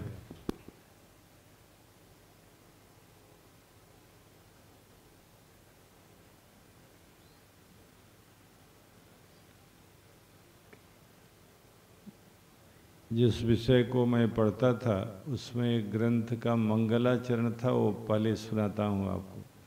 उसका व्याख्यान तो नहीं करूँगा। नहीं तो सारा समय, अभी कितना बजा है, दिख नहीं रहा है इसमें। दस बजे, ठीक तो उस ग्रंथ के मंगलाचरण ग्रंथ की समाप्ति के लिए सनातन धर्म में किया जाता है। जो मैंने कर्म प्रारंभ किया है या करने जा रहे हैं उसकी निर्विघ्न समाप्ति हो जाए, कोई विघ्न नहीं आवे, काम में रुकावट नहीं आवे। हमारा पाप बीच में नहीं आवे तो उसके लिए मंगलाचरण करते हैं। एक विद्वान ने तो लिखा है, जो बहुत बड़े विद्वान थे, कोई ग्रंथ बनावे तो आदि में भी मंगलाचरण करे, मध्य में भी और अंत में भी। वो बहुत बड़े विद्वान थे पतंजलि। अपने सनातन धर्म में किसी को महाभाष्यकार नहीं कहते, उन्हीं को कहा जाता है। तो भगवान की दया से जो ग्रंथ मेरा जो विषय था न्याय दर्शन, उसी के प्रारंभ में एक मंगलाचरण पढ़ा जाता है जो इसमें भगवान कृष्ण की वंदना है। उन्हीं के प्राकट्य महोत्सव के लिए हम यहाँ पर एकत्रित हुए हैं। चूड़ा मणिकृत विधु वलयीकृत वासुकी, भवो भवतु भव्याय लीला तांडव पंडिता। चूला मणिकृत विधु वलयीकृत वासुकी। कहा कि जिन्होंने चूड़ा मणि बना लिया है, चंद्रमा को, मने सिर का आभूषण, सिरोभूषण, भगवान शंकर ने सिर को बना लिया। चूड़ा मणिकृत विधु बलईकृत बासुकी। भवो भवतु भव्याय लीला तांडव। ये भगवान शंकर की वंदना। तो भगवान जिन्होंने बलईकृत वासुकी और जिन्होंने वासुकी नाग को अपने कर का भूषण बना लिया है ऐसे भगवान शंकर हमारा कल्याण करें। वो लीला तांडव पंडित है। तांडव नृत्य जो बहुत कठिन है। उसके वो पंडित हैं। इसी क्रम में भगवान शंकर की, भगवान कृष्ण की भी वंदना करते हुए ग्रंथकार ने कहा कि भगवान कृष्ण, बड़ी विचित्र है ये बात मेरे ध्यान में आ जाई कि जब इन्होंने वो चीर हरण वाली बात की, चीर हरण वाली। कहा कि भगवान ने चीर हरण गोप बोधूति दुकुल शौराय नूतन जलधर रुचय, गोप बधूति दुकुल चौराय कहा, जो नूतन जलधर हैं, मेघ, जल को धारण करने वाले को जलधर माने मेघ होता है। जल है मेघ में। तो नए जो मेघ होते हैं, उनकी जो कांति होती है, वो बड़ी विचित्र कांति। उसी नूतन जलधर रुचे, उनकी जो शोभा है, सुंदरता है उसी उसी के समान जिनकी सुंदरता है। रुचि माने सुंदरता, दीप्ति। नूतन जलधर रुचय यहाँ तक तो ठीक हुआ कि भगवान की सुंदरता का वर्णन कवि कर रहा है। लेकिन तुरंत कह दिया, गोपों की जो युवतियाँ हैं, बधूटियाँ, उनकी जो दुकुल है साड़ी, उसको चुराने वाले। दु गोप बधूति दुकुल चौराया। इसके बाद में कहा, उस कृष्ण को मुझे नमस्कार है, जो संसार रूपी वृक्ष के बीज हैं। संसार मही रूहस्य बीज आया ये मंगलाचरण है उस ग्रंथ का। छोटी आयु में जब मैं बिल्कुल ही छोटा ही था, शुरू हुआ था पढ़ना तो इसको याद किया था। वही मेरा मुख्य विषय बना जो इसको मैं पढ़ता पढ़ाता रहा पूरे काल में। तो इन्होंने ठीक कहा कि भगवान चोर तो हैं, लेकिन उन भावों की, उन वस्तुओं की की चोरी करते हैं, जिनसे जीवन गर्त में जा रहा है लंछित हो रहा है, बीमार हो रहा है, असफल हो रहा है। भगवान वैसे चोर नहीं। पुण्य नदियों में स्नान करना तो पुण्य का काम है, धर्म का काम। आराधना है जमुना गंगा सरस्वती में। वो देव स्वरूपा है, देवी स्वरूपा है। वहाँ कोई नंगा, कोई मंदिर में नंगे जाता है क्या? नहीं जाता। कपड़ा पहनकर ही नहीं, व्यवस्थित कपड़ा पहनकर। जिस माँ ने मलमूत्र धोया है, सभी अंगों का सबसे ज़्यादा परिज्ञान उसको है। उस माँ के सामने कोई जवान, लड़का, लड़की नंगे जाते हैं क्या? ये बड़ी बेवकूफ़ी की बात। ये भगवान कृष्ण के सानिध्य का, सचार का, उनके लालित, लावण्य का, वो जितना गोप गोपियों को कर रहे थे, उसका दुरुपयोग था। सरासर दुरुपयोग। साहस की ये अत्यंत निंदनीय अवस्था थी कि बताइए। भगवान कृष्ण जिसको देखते हो, जिसको अपना मानते हो, जिसके लिए उन्होंने अपना ये दिव्य धाम छोड़ करके यहाँ उतरना पसंद किया, जो निरंतर ज्ञान विज्ञान की अपनी धाराओं से सभी लोगों के बाहर और भीतरी जीवन को धो रहे हैं। वो ऐसा नहीं करना चाहिए। गोप बधूति दुखुले चौराया कहा कि इतनी बड़ाई आप कर रहे हैं, मामला क्या है? कहा तस्मयी कृष्णाय नमा। ये विद्वानों का विषय है। कहा, मैं उस कृष्ण को प्रणाम करता हूँ। उस कृष्ण को। जो संसार रूपी वृक्ष का वृक्ष है, संसार, उसका जो बीज है, जो मूल कारण है तस्मई के ऊपर विद्वान लोग जम गए, कहा कि जिसके लिए यस्मई का प्रयोग होता है, उसी को तस्मई का प्रयोग होता है। यत शब्द से बनता है, यस्मई तत् शब्द से बनता है, तस्मई। तो यत शब्द का प्रयोग तो इस श्लोक में हुआ नहीं तो तत् का क्यों प्रयोग किया कारिकाकार ने तो कहा कि ये बताना चाहता है लेखक कि वो भगवान, कृष्ण हैं, वो है। सकल जन प्रसिद्धत्व सूचनाय। यत पदम बिना भी तत्पदस्य ग्रहणम टीकाकारों ने लिखा, यत नहीं, जो कहा जा, तम न कहा जा, उसके लिए। जब संज्ञा शब्द का प्रयोग होता है तो सर्वनाम का प्रयोग होता है। एक उसके बिना हो गया। कहा कि ये वो भगवान कृष्ण हैं, जो अपना वेद कौन है नहीं जानता, अपना, अपनी शाखा को नहीं जानता, अपने मूल को नहीं जानता, अपने प्रवर को नहीं जानता, अपने पहले वाले पूर्वजों को नहीं जानता, जो जानता ही कुछ नहीं, तमाम तरह के अंधकार जिसके जीवन में, वो भी भगवान कृष्ण को जानता है। देखिए, इस देश में बहुत सारे लोग हैं जिनको अपनी शाखा, यहाँ भी लोग हैं। कौन शाखा है जी आपकी? बोले, ओ। नहीं मालूम? कौन आपका प्रवर है, कौन आपका मूल है, कौन आपका भले आदमी? बतलाइए, कहाँ से आप आए? सारा मामला गोल गोल है गोत्र ही नहीं मालूम है कौन गोत्र है, लेकिन वो भगवान कृष्ण के लिए बार लाखों प्रधानमंत्री का जन्मदिन होता है तो अभी यह उल्लास न भारत में होता है न अमेरिका में होता। कहाँ कौन पूछता है कौन? मज़े की बात है कि एक बार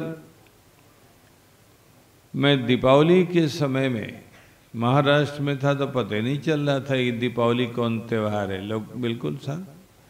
एक अपने भक्त परिवार की बच्ची हैं तो एक दिन अमेरिका में थी तो उन्होंने टेलीफोन किया कि गुरुजी मैं अमेरिका में हूँ। मैंने कहा तो? कहा कि हाँ ईसा मसीह का जन्मदिन है और पता नहीं चल रहा है, कहीं कुछ है ही नहीं है।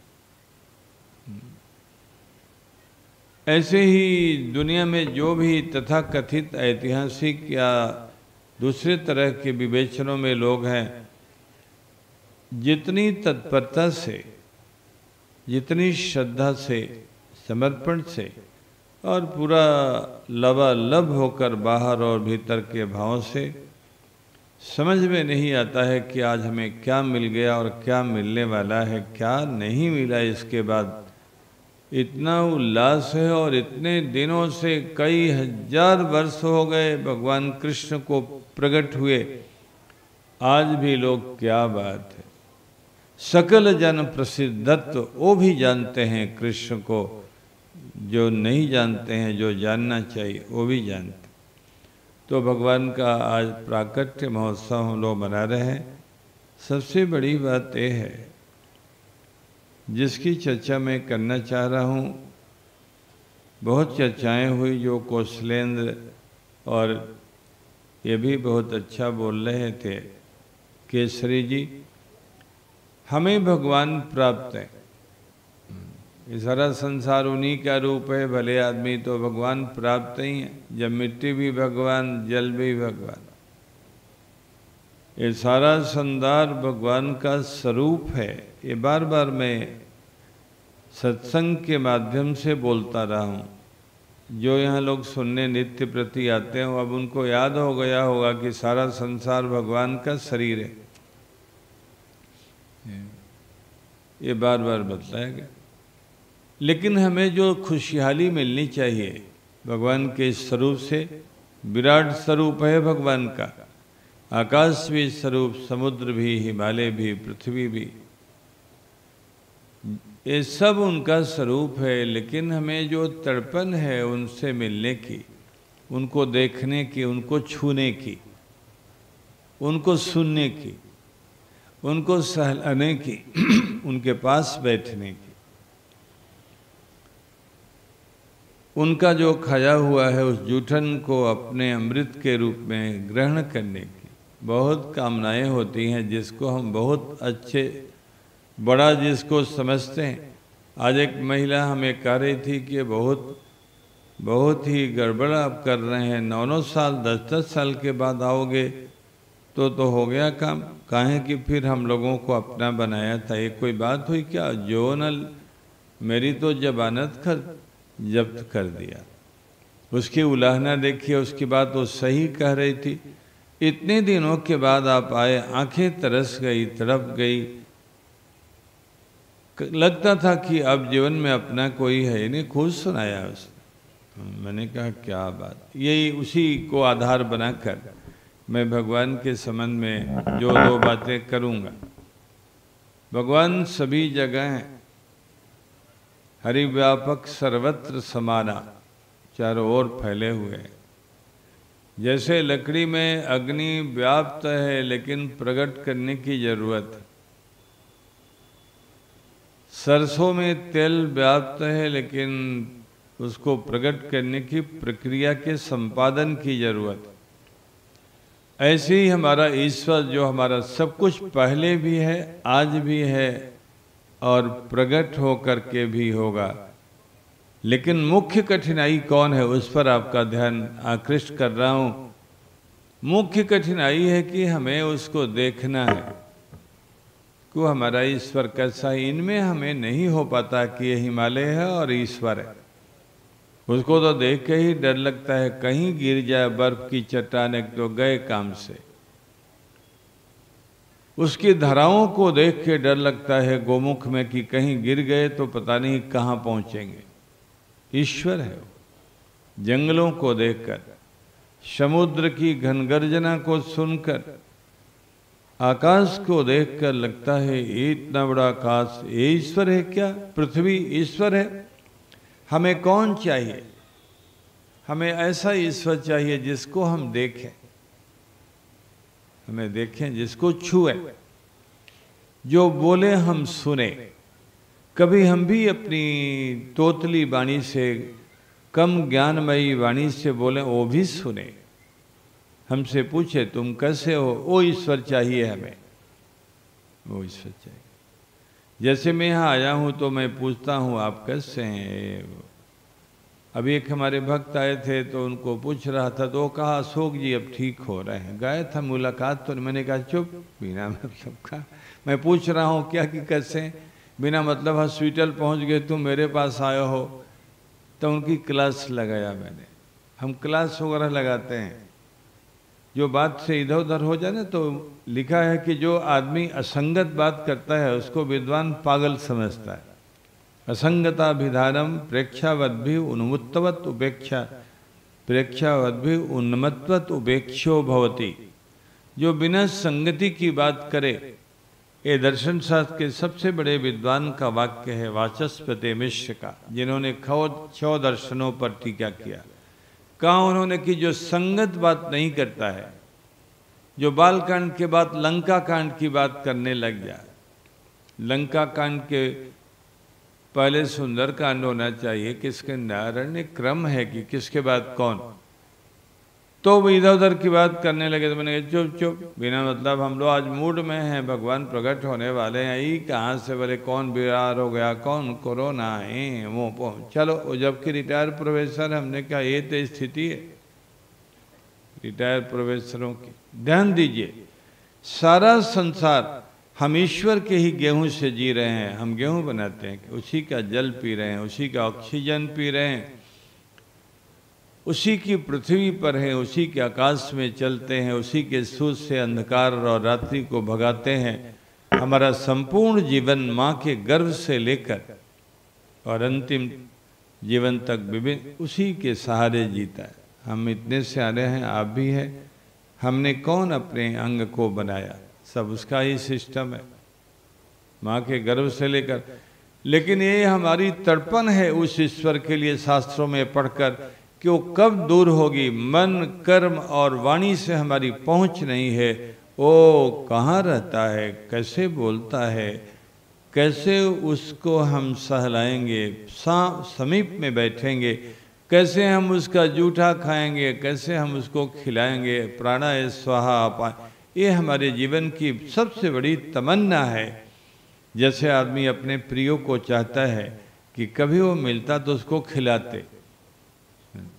उसको बुलाते, आइए ना कभी आइए आप। आइए। खिलाते बार बार आग्रह करते कि, और लीजिए ना, क्या क्या, आप ले क्यों नहीं रहे? एक दिन हमने थोड़ा कम प्रसाद लिया तो जो मेरे भरत जी हैं, जिनको मैं प्यार से मथुरा के चौबे बोलता हूँ, उन्होंने कहा कि भोजन कम होता जा रहा है। कोई दिक्कत है क्या आपको? मैंने कहा, दिक्कत नहीं है।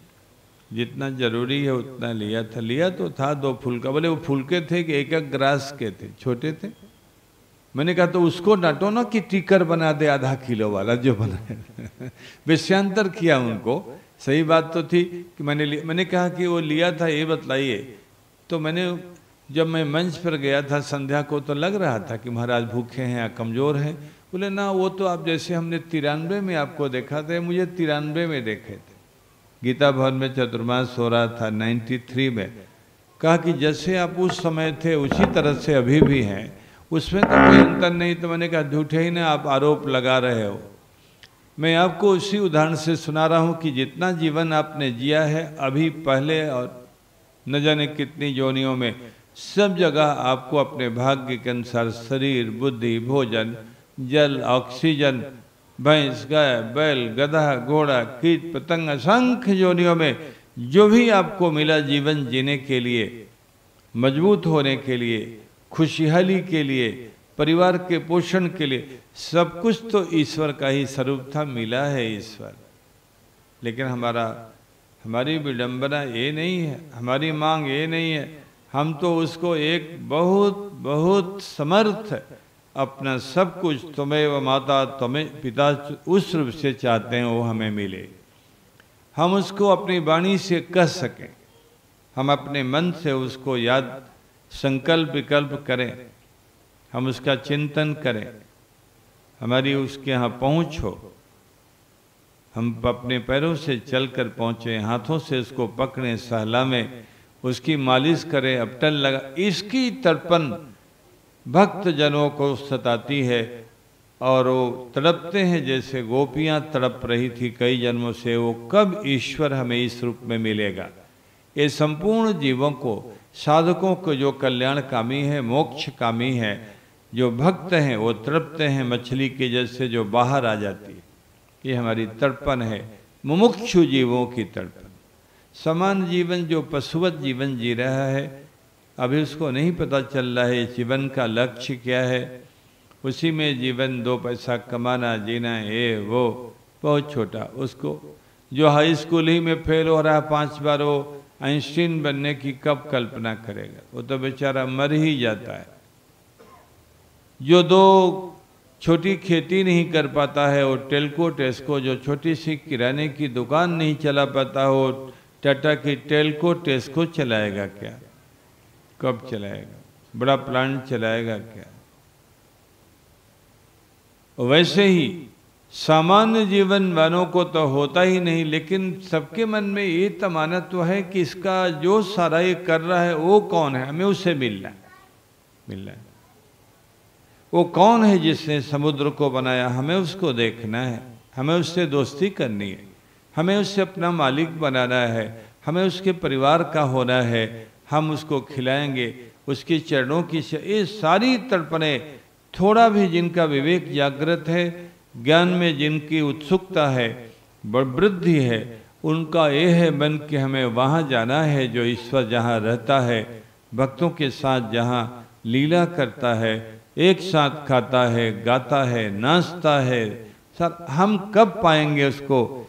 इन्हीं भावनाओं को पूरा करने के लिए भगवान आते हैं। ये आपको सुनाना उसी के लिए भगवान। भगवान कृष्ण को इस, ये चुराना, ये वो ये तो बहुत छोटा सा।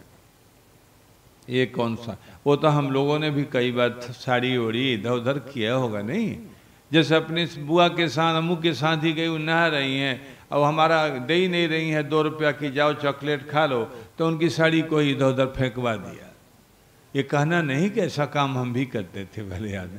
लड़के जब नाराज़ होते हैं ना तो इधर उधर कर देते हैं, समान यहाँ कहाँ, वहाँ वहाँ का पटक दिया, टूट गया, खिसा, खिसियाई बिल्ली खंभा नोचे। नहीं तो भगवान के देह से यहाँ संसार में नाराज़ होकर न जाने क्या क्या लोग करते हैं तो भगवान के, कि उस नाराज़गी का मामला नहीं है, नाराज़, ये तड़पन का मामला है, कौन जी उनके इन लीलाओं का लाभ लेना चाहता है? कौन देखना चाहता है? हम देखते हैं मंदिरों में भगवान को लेकिन जब भगवान अवतार काल में प्रकट हो जाते हैं, वैसा थोड़े देखते हैं। हमारी योग्यता नहीं है क्वालिफाइड नहीं है। हम देख, रोज भगवान को भोग लगा के खाते हैं। आपको कितनी बार अनुभव होता है कि आज दुनिया का सबसे बढ़िया ये अमृत हमें मिला, अब हम निश्चित रूप से धन्य जीवन के हो जाएँगे। दिव्य धाम में भगवान जो खाते हैं ना, वही सबको खिलवाते हैं। इसीलिए वहाँ सायुज्य नाम का मुक्त होता है। सायुज्य, उसको बोलते हैं भगवान के समान भोग, जहाँ हो वही सायुज्य मोक्ष। भोगे साम्यम सायुज्यम। भोग में भी सामता, जो बड़ा अरबपति खाता है वो द्वारपाल नहीं खाता। नौकर को कहाँ वो मिलेगा? गाड़ी वो मिलेगी क्या नौकर को? स्कूटर? लाखों लाखों रुपयों के मोटरसाइकिल पर बच्चे चलते हैं धनवानों के, और जो सब्ज़ी खरीदना जाता है वो मिलेगा क्या? कभी नहीं मिलेगा। हमें चाहिए, हमें तड़पन है कि हमें उस ईश्वर की ज़रूरत है जिसने हमें सब कुछ दिया सभी जोनियों में, लेकिन हम उसको खिला नहीं पाते, देख नहीं, सजा नहीं पाते, काजल नहीं लगा पाते।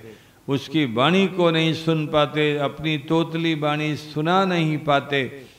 हमें इसके लिए तड़पते हैं। कौन?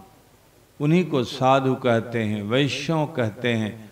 ऐसे ही लोगों को कहा जाता है कि भगवान उनकी रक्षा के लिए आते हैं।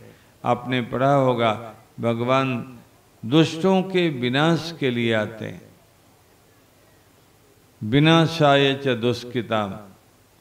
साधु नाम परित्राणाय, ये गीता का श्लोक है। साधुओं को परित्राण देने, रक्षा देने के लिए और दुष्टों को विनाश करने। साधु कौन?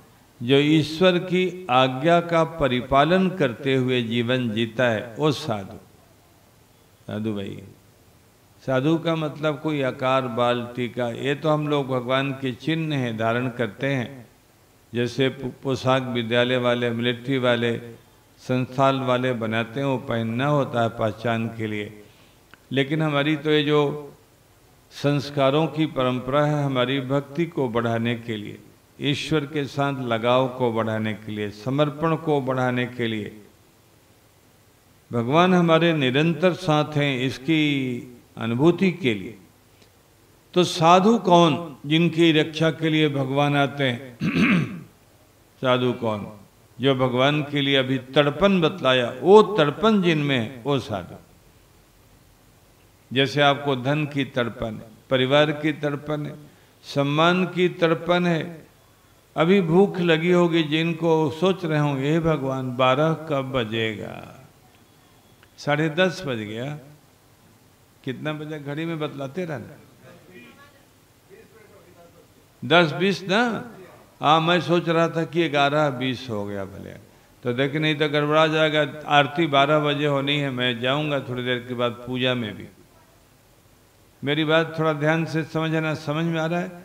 आप बतलाइए अब आपकी कितनी तड़पन है। सब तो भगवान ही दे रहे हैं, कोई है तड़पन?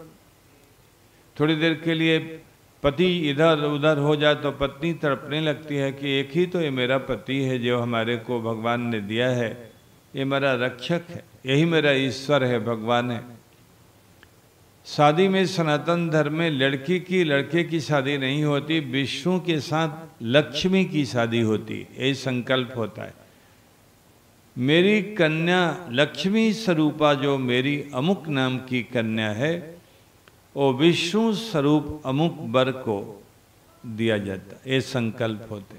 शादी सनातन धर्म में लड़की लड़के की नहीं होती जब से ये होने लगी, तभी तो तलाक होने लगा, झगड़े होने लगे, सारी मर्यादाएँ टूट रही हैं। कौन देवर, कौन जेठ शादी होती है लड़की लड़के की। जिनका पता ही नहीं, लड़की कौन, लड़का कौन, कितना हम उनको जानते हैं, कब तक जानेंगे? एक छत के नीचे रहकर पति नहीं जान पाता बुढ़ापे तक तो क्या दो दिनों में आप जानेंगे? अच्छा मैं यहाँ आया हूँ तो आप हमें जान गए क्या? मैं यहाँ एक सवा महीना से हूँ, आप हमें कितना जानते हैं? मैंने मैं कितना कुछ भी नहीं जानते। आपको तो यही नहीं पता चला कि मैं चाय कौन सी पीता हूँ। यही नहीं मान कौन जानेगा? ईश्वर को, भगवान विष्णु को, सदगृहस्थ अपनी कन्या विष्णु मानता है लड़के को। एक दिन एक कोई विवाह समारोह हुआ था, मठ में, वहाँ के बड़े कार्यकर्ता थे। तो शादी में तो नहीं गया, मठ उसमें शादी में लगा था, सभी तरह से, सेवक थे। तो आप उन्होंने कहा कि आशीर्वाद समारोह, आप अब वहाँ आइए ना। तो मठ में ही था तो दूसरे मठ में गया। चलिए, आशीर्वाद वगैरह हुआ। तो जिनका मैं नाम लेता रहता हूँ, बड़े विद्वान हैं गणेश्वर शासी द्रविण उनको बोला था कि आ जाना, आप भी आशीर्वाद दे देना और मैं उठ के खड़ा हो गया था, अब चलने वाला था आए तो मैंने कहा, आप देर कर दिए। बोले, कोई नहीं, कहाँ बच्चे हैं, मैं आशीर्वाद दे दूँ। मैंने, ऐसे नहीं, माइक पर दीजिए। तो उन्होंने दो मिनट में इस बात को बहुत ज़ोर शोर से कहा कि जो बर बधु हैं उनको एक ही बात मैं याद दिलाने के लिए आया हूँ कि आप विष्णु और लक्ष्मी हैं? थोड़ा सुनिए प्रवचन। वो देश के सबसे बड़े विद्वान हैं और त्यागी भी हैं। नंगे पाँव चलते हैं। कोई वस्त्र नहीं, शरीर में सीला हुआ। क्या बात है। भगवान ने विद्या भी दिया है, संयम, त्याग। तो उन्होंने कहा कि आप याद मत करना कि हमारी शादी हुई, फ़ोटो देखते रहना और बोले, हम किस, हमारी शादी हुई, हम ब्यूटी पार्लर में गए थे, हमें वो, ये नहीं, आप याद करिए कि मैं विष्णु हूँ और ये याद करें कि मैं लक्ष्मी हूँ। जैसे लक्ष्मी सभी का परिपोषण करती है और भगवान विष्णु करते हैं, उनको कोई भेदभाव नहीं है। वैसे ही संकल्प लें कि मैं भी अपने दायरे में सभी का परिपोषण, सेवा, वाणी, जो हमें उपलब्ध होगा वो सबसे करेंगे। आप वस्तुतः विष्णु और लक्ष्मी हो जाएँगे, लोक और परलोक बन जाएगा। ये मामला है। हम ईश्वर को, हमारे मन में तड़पन ही नहीं हो रही है। हमारे मन में ये कृतज्ञता ही नहीं हो रही है कि ईश्वर हमें सब कुछ दिया, अब हमें वहाँ चलना है। तड़पना है हमें कैसे? जैसे मछली बाहर तड़पती है, जैसे माँ अपने बच्चे के लिए तड़पती है। चाहे वो पशु हो, पक्षी, सभी तड़पती तो भगवान फिर मन बनाते हैं कि अच्छा चलो, इसको चाहिए कि जिसको एक खिलावे, बनावे, सेवा करे, बैठे, सत्संग, ये हिमालय थोड़े सत्संग करेगा, न समुद्र करेगा। ये पृथ्वी करेगी, क्या सत्संग? ये सुनाएगी क्या? भगवान में दिव्य तत्वों को सुनाने की क्षमता है।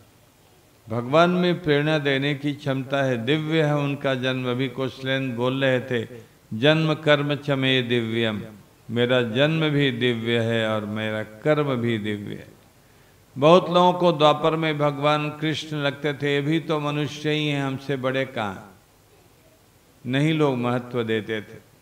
कहा भगवान ने गीता में, लोग मेरा तिरस्कार करते हैं, समझते हैं, ये भी तो ऐसे ही जैसे माँ के गर्भ में रहकर माया जा वहीं पर मलमूत्र में ओतप्रोत था।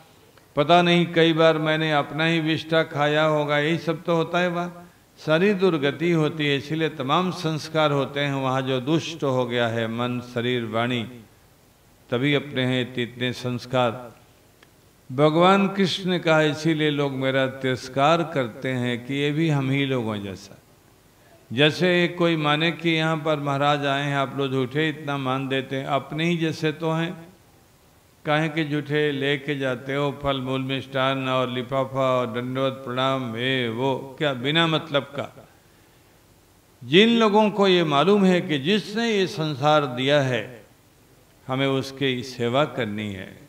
खिलाना, बनाना, देखना, सुनना, बहुत सुना कथाकारों को, विद्वानों को, प्रोफेसरों को बहुत दाढ़ी वालों को, जटा वालों को सुना, अब हमें उसे सुनना है, जिसकी एक बात, आधी बात याद करके बोलते हैं, हमें उसे सुनना है। हम जो बोलते हैं, हमारे पिताजी का थोड़े बोलते हैं। हमसे जुड़े हुए, जो लोग पहले हुए, उस समय हुए, हम उनका कुछ नहीं बोलते। मैं अपनी गुरु जी की कोई वाणी बोलता हूँ क्या? मैं तो वेदों की वाणी बोलता हूँ, स्मृति की वाणी, पुराणों की, आपको जो भी महाभारत की वाल्मीकि रामायण की वाणी बोलूँगा ना, जो अपने शास्त्र हैं। पिताजी की कौन सी वाणी बोलूँगा? उनकी कौन वाणी? वो कितने विद्वान थे? तो भगवान की दया से जब ये मन में आएगा कि हमें अपने पिताजी की सेवा करनी है, जो दुनिया के पिता, उन्हीं ने हमें सब कुछ दिया है। आप तड़पने लगेंगे। अब हमें, ओ भगवान प्रकट होइए। अब हमें आपकी सेवा करनी है। हमारी वाणी नहीं पहुँच रही है। हमारे कर्म नहीं, हमारा मन नहीं, कहीं से भी हम आपको पा नहीं पाते हैं।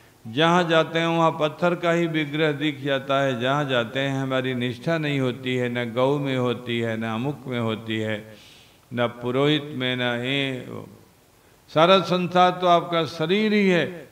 हमें आप उस रूप में दर्शन दीजिए कि हमारी सारी तड़पने, हमारी सारी आहें, सारी निरस्ता, सारा अभावग्रस्त जीवन हमेशा हमेशा के लिए। भगवान इसी के लिए, यही साधु परित्राण का मतलब है। साधु मतलब कि केवल रूप से नहीं, स्वरूप से। साधु मतलब केवल कपड़ा, दाढ़ी और तिलक और नहीं, मठ नहीं कितना भी बड़ा साधु हो ये नहीं, जो ईश्वर को मिलने के लिए तड़प रहा है, वो साधु भी जो कर रहा, वही साधु हो, चाहे घर में रहे, चाहे जंगल में रहे, चाहे गुफा में रहे, या ऐसे ही खुले रहे, वृक्ष के नीचे, ऐसे साधु जनों को, जिन्होंने एक भी ईश्वर विरुद्ध काम नहीं किया, एक भी ईश्वर की आज्ञा का उल्लंघन नहीं किया, कहीं भी अतिक्रमित नहीं किया भगवान की भावनाओं को, ऐसे साधु जन जो जन्म जन्मांतरों से, कल्प कल्पांतरों से जो तड़प रहे, वैसे लोगों को भगवान दर्शन देने के लिए मनुष्य रूप में आते हैं। वही भगवान, उसी भगवान का मनुष्य अवतार होता है। बाकी तो भगवान का अवतार सब जगह। समुद्र को आप देखो तो लगता है कि वो गैल, बैल है कि गाय है कि गधा है, नहीं। किसी से उसकी तुलना नहीं। वो हिमालय से भी उसकी तुलना नहीं। किसी बगीचे से, पशु से, मनुष्य से, क्या औकात है भले आदमी? मैं द्वारिका में भी समुद्र के किनारे एक महीना रहा, एकांतवास के लिए गया था। और रामेश्वरम में भी था। मंदिर के पास में ही अपना आश्रम है संप्रदाय का। खूब ध्यान रखा वहाँ के जो सीताराम दास जी हैं। क्या बात है। इतना ध्यान इतना ध्यान। बहुत बहुत ध्यान रखा। एक महीने था वहाँ पर। समुद्र सामने ही था। दिन में तो नहीं, रात्रि में जब निकल जाता था तो थोड़ी देर छत पर टहलते हुए दर्शन करता था समुद्र का। हो हो हो। लेकिन उससे तो डर लगता था, हो हो। हम तो ये कूलर को ही बोलते हैं, राक्षस हैं। तो उनको तो नहीं बोलते थे, क्योंकि वो भगवान का बड़ा स्वरूप है। मैंने कहा, महाराज, इतना नहीं डराओ। हम तो स्वयं ही दूसरे लोगों को दिन भर डराते रहते हैं। अब हमें नहीं डराओ, मैं काशी वालू हो। और आप हो हो बोलते हैं, ये कोई वेद वाणी है क्या? हम तो शास्त्र वाणी बहुत जानते हैं, जो भगवान अपने बहुत महत्वपूर्ण वाणी मान, अभिप्राय, समुद्र को देखकर कौन प्रभावित होता है? आकाश को देखकर आप हो गए प्रभावित किया। हमें चाहिए, जिसने हमें सब कुछ दिया है इन्हीं भावना, यही साधु जन है जिनकी ऐसी भावना है, आप साधु बने, आपकी तड़पन हो ईश्वर के लिए जहाँ वो रहता है, जो खाता है, जो बोलता है, जिसको आप, जिसके साथ आप नाच सकें, गा सकें, जो अपना रूप भी आपका बना दे, अपने जैसा आपको मित्र परिवार के अन्यतम सदस्य के रूप में बगल में ही रखे क्या बात है? हमें वो ईश्वर चाहिए, वही भगवान आते हैं। वही दिव्यता है। दिव्य हैं भगवान, और लोग हमने जन्म लिया है पाप और पुण्य के आधार पर। ईश्वर का जन्म उसकी इच्छा के आधार पर होता। याद आज से इच्छा ध्यान रखना। भगवान ने गीता में कहा, मैं अपने समस्त स्वभाव को, अपनी प्रकृति को नियंत्रित करके, उसको अपने बस में करके, संभवामी आत्ममाया मैं अपने संकल्प से, अपने ज्ञान से प्रकट होता हूँ। ये भगवान भगवान को हम लोग अपने कर्मों से आए, तभी ना भोग रहे हैं। यहाँ दर्द है तो वहाँ दर्द है। आज छींक आ गई तो आज पेट में दिक्कत है। आज बस पूछो मत। क्योंकि हम अपने पाप और पुण्य से आए, कभी धन में, कभी परिवार में। किसी ने अपमान कर दिया, किसी ने हमें ठग लिया। तमाम तरह की कठिनाइयाँ हैं। किसी ने हमें व्यंग बोल दिया, ईर्ष्या कर दिया, इतनी, इतना विषाक्त तो वातावरण है संसार में, वहाँ कुछ भी नहीं है। ये आप सुनेंगे तब ना भाव होगा कि वहाँ चल रहा है। हमें लोग कोई पूछते हैं, महाराज, चलेंगे अमेरिका? मैंने कहा, कौन अमेरिका? बोले, आपको पता नहीं है क्या? हमने कहा, जब हमें वेदों का ही पता नहीं तो अमेरिका का क्या पता करें? वो हमारे मामा का गाँव है कि हमारी ससुराल है वहाँ पर, बेकूफ कहीं का। हम नहीं जानते हैं कौन अमेरिका। कोई अमेरिका नहीं। हमारा कोई आकर्षण नहीं अमेरिका में, न दुबई में। एक दुबई के सबसे बड़े आदमी हैं सिंधी भाई। उनके बड़े भाई मेरे भक्त थे, जो उनके मुँह पर ही वो आसाराम बापू से जुड़े हैं छोटे वाले। दुबई के सबसे बड़े इंडियन हैं। एशियन ही मान लीजिए, छोटे वाले। तो उन्होंने कहा कि आइए ना दुबई में, उनके भाई का मर्डर हो गया था। वो मेरे भक्त थे मुँह पर बोलते थे, ए वासु, चोर है आसाराम चोर। मैं बोलता था, ये आपका भाई है, ये उनका चेला है, आप ऐसे बोलते हो क्या? बोले, मेरा तो पुत्र जैसा है, जो सही है, वो बोलता हूँ। और उसको सिंधी में बोले, सच्चा साई स्वामी है। मेरे अनन्य श्रद्धालु थे, पूछिए मत। वो वो भामा शाह थे सिंधी समाज के, भामा शाह इतना दान पुण्य वो। और मेरे लिए तो उनका प्राण ही रहता था। एक दिन मैं बोला, आइए सेठ जी। उन्होंने कहा, आप कभी नहीं आऊँगा। मैं आपके चरणों की धूली बन रहा हूँ और आप मुझे सेठ जी बोलते ये नहीं। अभिप्राय कि भगवान की दया से इतना विडंबना का यह जीवन है कौन हमें देगा जो ईश्वर के धाम में? सुनोगे तब न भले आदमी। जैसे आप सुनते हैं कि कपड़ा मिला, जूता, तुरंत आदमी का मन हो जाता है, ये ज़रूर लेना ये गाड़ी लेनी है। अच्छा वो कपड़ा। आप हमसे भी तो कभी पूछो कि महाराज, इतने दिन हो गए, मेरे घर से आए पहले। कभी हमें अब तक समझ ही नहीं आया कि ये कपड़ा कौन है और ये लिया भी जाता है और हमें भी लेना है। और इसको पहन करके हमने जमाना है कि लोग कहें, वाह, क्या बात, महाराज, आज लेना न देना। ये कौन सी बात? जब हम निरंतर पढ़ रहे हैं, भले आदमी एक जमाना था कि गीता का एक शब्द हमें समझ में नहीं आता था, और अब अब गीता की न जाने कितनी टीकाओं को हमने पढ़ा, पढ़ाते हैं। मैं आज ही बैठे बैठे सोच रहा था, उतना तो हमने रामायण नहीं पढ़ा, जितना हमने गीता को पढ़ा। तो हमसे बढ़िया और कौन कृष्ण भक्त होगा? आज मैं बैठे बैठे सोच रहा था। वो लोग बोल रहे थे, हम अपने चिंतन में लगे थे, ये कैसे हो गया कि मैं गीता को छोटी आयु से पढ़ रहा हूँ? हमें उतनी चौपाइयाँ नहीं याद हैं जितने हमें गीता के श्लोक याद हैं। इतनी एक हमारे पास पुस्तक है तीन खंडों में, जिसमें गीता की ग्यारह व्याख्याएँ हैं। ग्यारह। मोटी मोटी मैंने उसको पढ़ा, तब मैंने सोचा कि वो भगवान ने हमें पढ़वा दिया। क्योंकि मेरा नाम पहले श्री कृष्ण ही था तो उन्होंने कहा, नाम है तो थोड़ा तो कुछ तो सीख लो मेरे, मेरा ज्ञान। अब हमें समझ में आया, ये मामला हुआ। अभी भी रामायण में लेकर सालों भर घूमता हूँ, पढ़ता एक दिन भी नहीं हूँ और गीता ऐसी नहीं जिससे एक दिन भी बहुत गम, दम खम से नहीं पढ़ूँ। दम खम समझते हैं आप? नहीं समझ पूरे दम लगा के पढ़ता हूँ। मैंने पूरी शक्ति लगा कर एकाग्र होकर भगवान इसीलिए हम लोग, समझ में आया? साधु नाम परित्राण। साधु माने कौन? जो भगवान के लिए ऐसे तड़प रहा है। हमें देखना है आपको। आप ही विश्व सुंदर है। कैसे कोल्ल भील की रातों को आपने अपने को दिखा दिया, केवट को दिखा दिया? कैसे वो डकैतों को, चोरों को जो कहते हैं हम यह हमारी है बड़ी सेवकाई ले न बासन वसन चुराई उनको।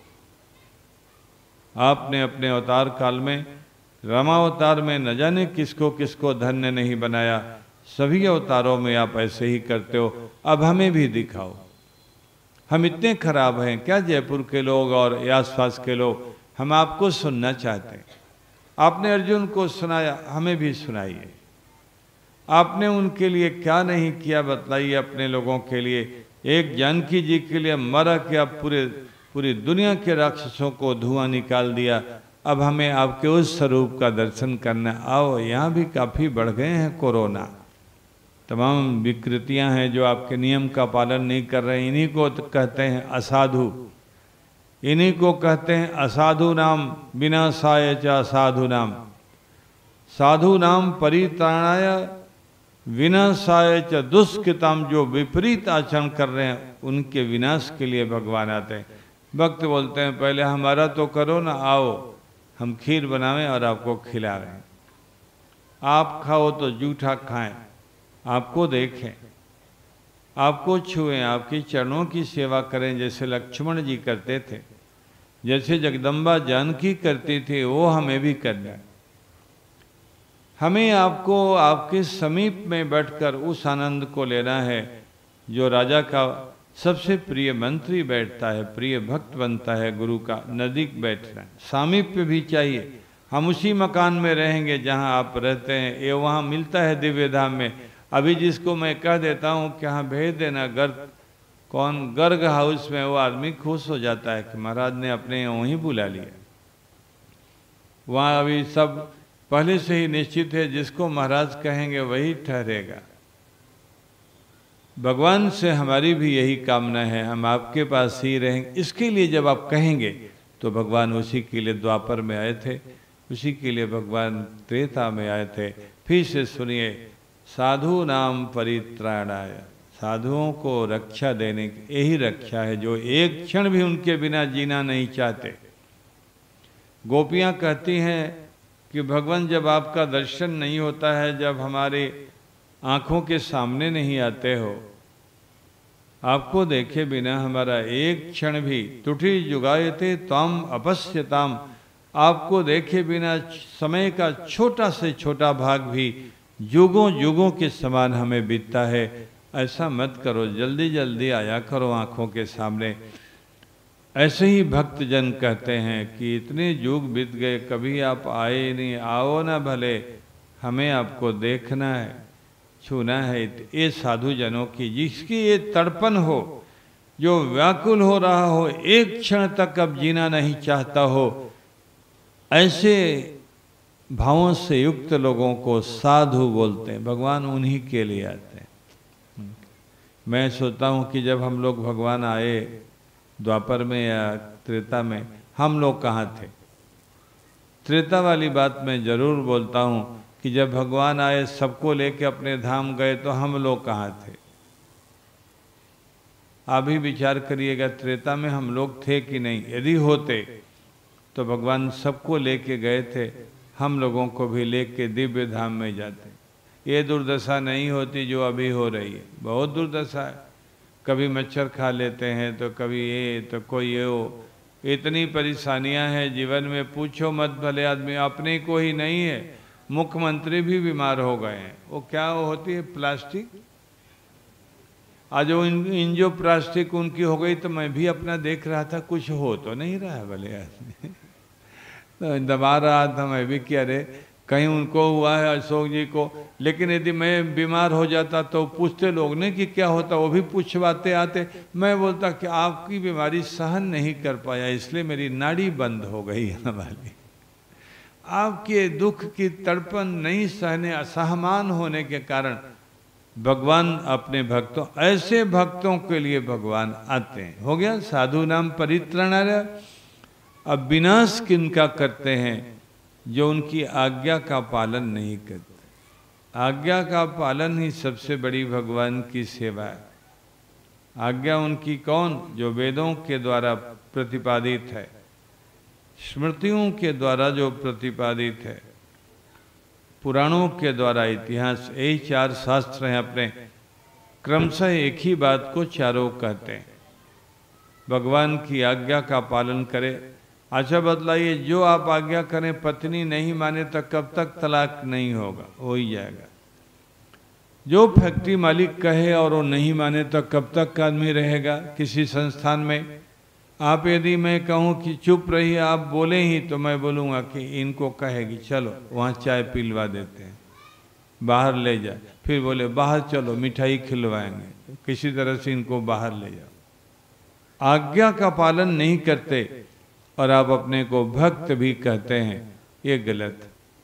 मानो माँ, मा नहीं, मात पिता नहीं, देवा, साधुन से करवा वहीं सेवा, जिनके अस आचरण भवानी, उन्हीं को कहा यही राक्षस है। बतलाइए कितने लोग हैं जो माता पिता की आज्ञा का पालन कर रहे हैं, उनकी सेवा कर रहे हैं। धन्यवाद है, विश्वामित्र जी की सेवा कर रहे हैं। दशरथ, राम जी और लक्ष्मण जी। बार बार वो कह रहे हैं, रहने दो, हो गया राघव, रहने दो, लक्ष्मण हो गया। बोले, नहीं, अभी कहाँ हुआ अभी तो छुए ही। ये अवसर अभी तो मिला है, इतने दिनों से मैंने जन्म पाया है, मिला क्या?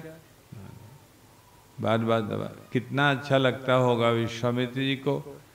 कितना धैर्य है, सहनशीलता है, गुरु निष्ठा है, शास्त्र वचनों में विश्वास है।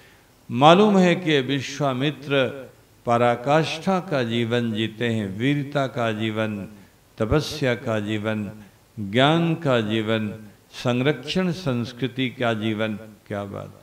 भगवान दबा रहे भगवान इसीलिए अवतार ले। भक्त यही तो चाहते हैं कि कब ऐसा मौका मिलेगा, हम ऐसा करेंगे।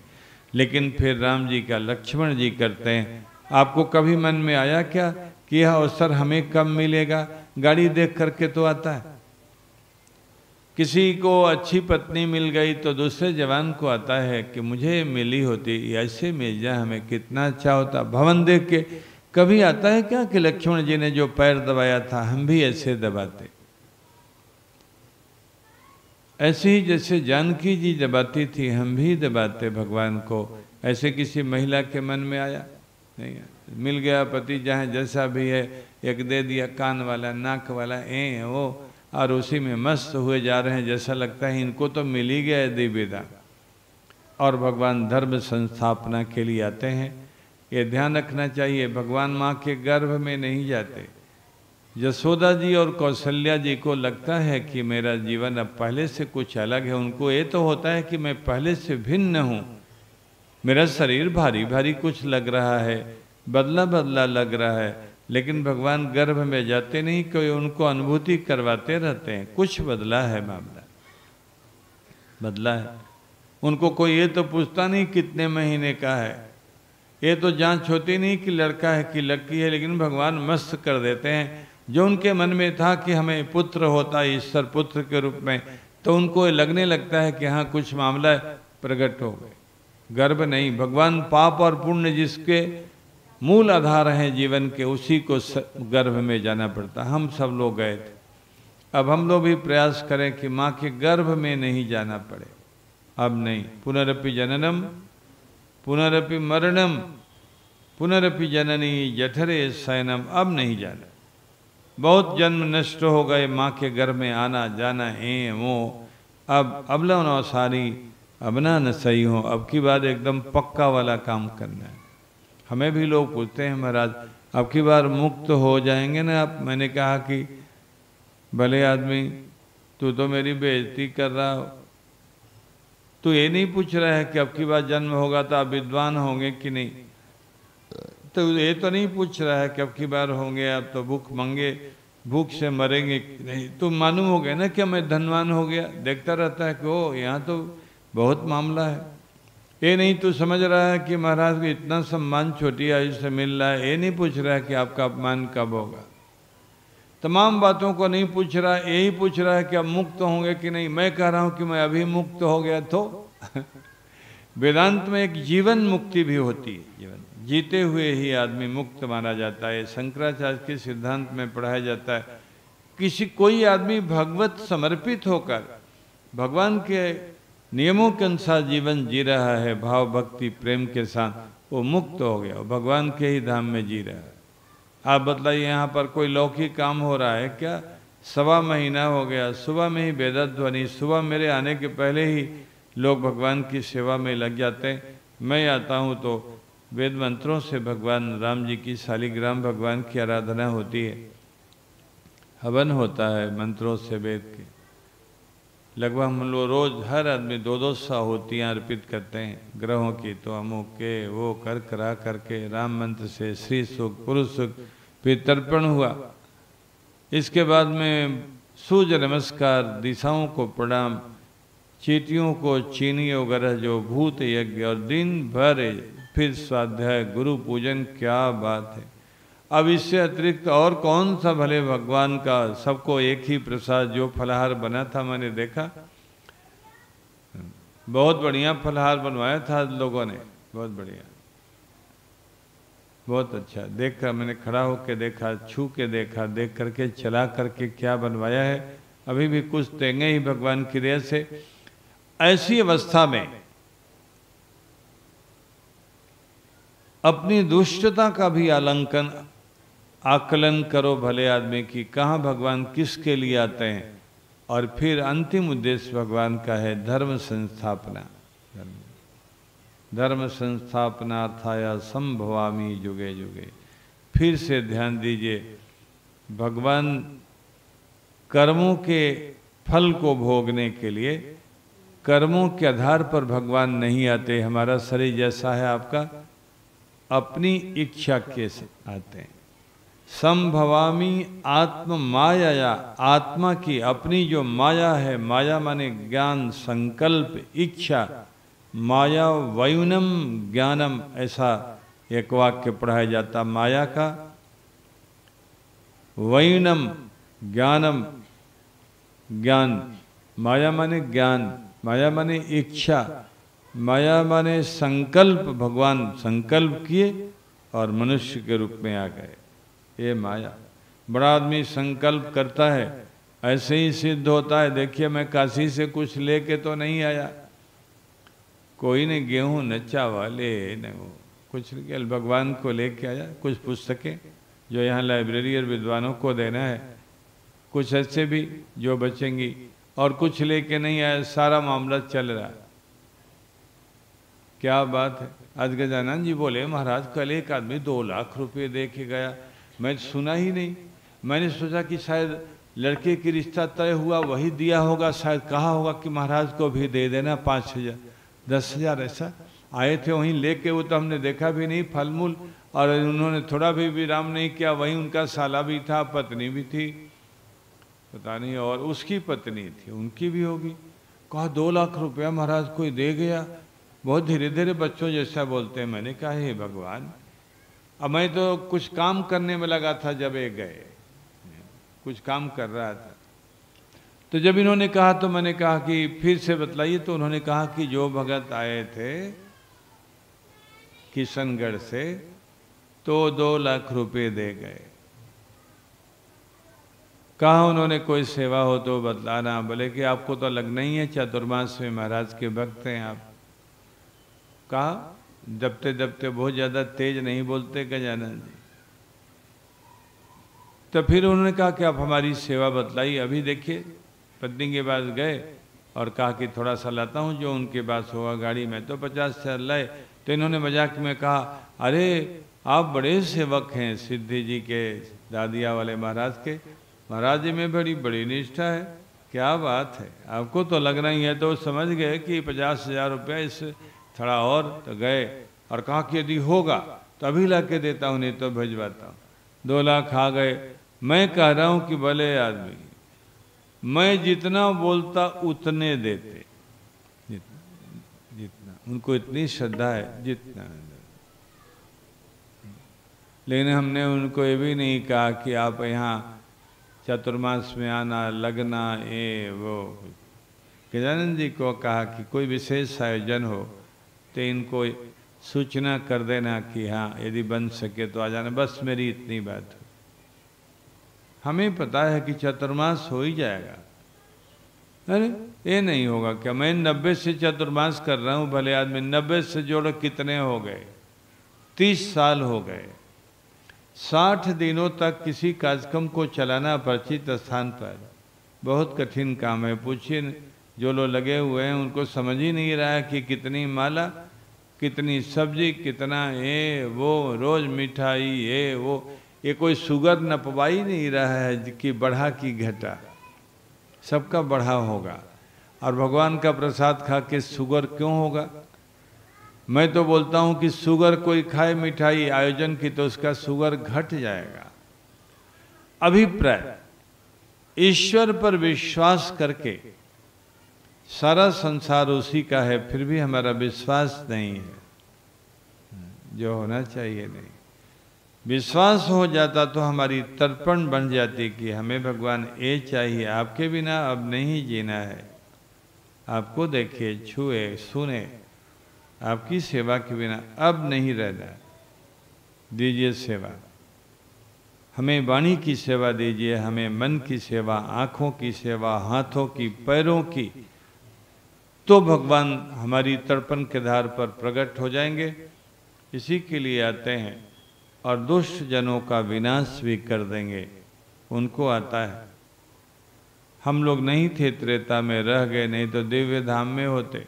अब की बार मौका छोड़ना नहीं है, अब की बार चलना है। राम जी नहीं ये कृष्ण भगवान तो नहीं, ले गए अपने लोगों को। मैं कई बार बोलता हूँ कि ये तो जगवन यदुवंशियों को लड़ा करके इनको एकदम सीताराम कर दिए तो गए। ये विनोद की बात हुई। जो भगवान कृष्ण को भी जिन्होंने सेवा किया, दर्शन किया, उनको सुना, अमुभक्ति किया, वो सब भगवान के दिव्य धाम में ही गए होंगे। राम जी की ले जाने की प्रक्रिया अलग थी। भगवान जो ईश्वर आएगा, वो तो ले ही जाने के लिए आता है अपने भक्तों को। दिव्य धाम में ले जाता है। सभी अवतारों का एक ही स्वरूप है। तो भगवान क्रिया से आज भगवान कृष्ण के प्राकट्य का दिवस है। भगवान प्रकट हुए। कई लोग कहते हैं कि भगवान राम तो मर्यादा पुरुषोत्तम है, भगवान कृष्ण लीला पुरुषोत्तम, ये बात गलत है।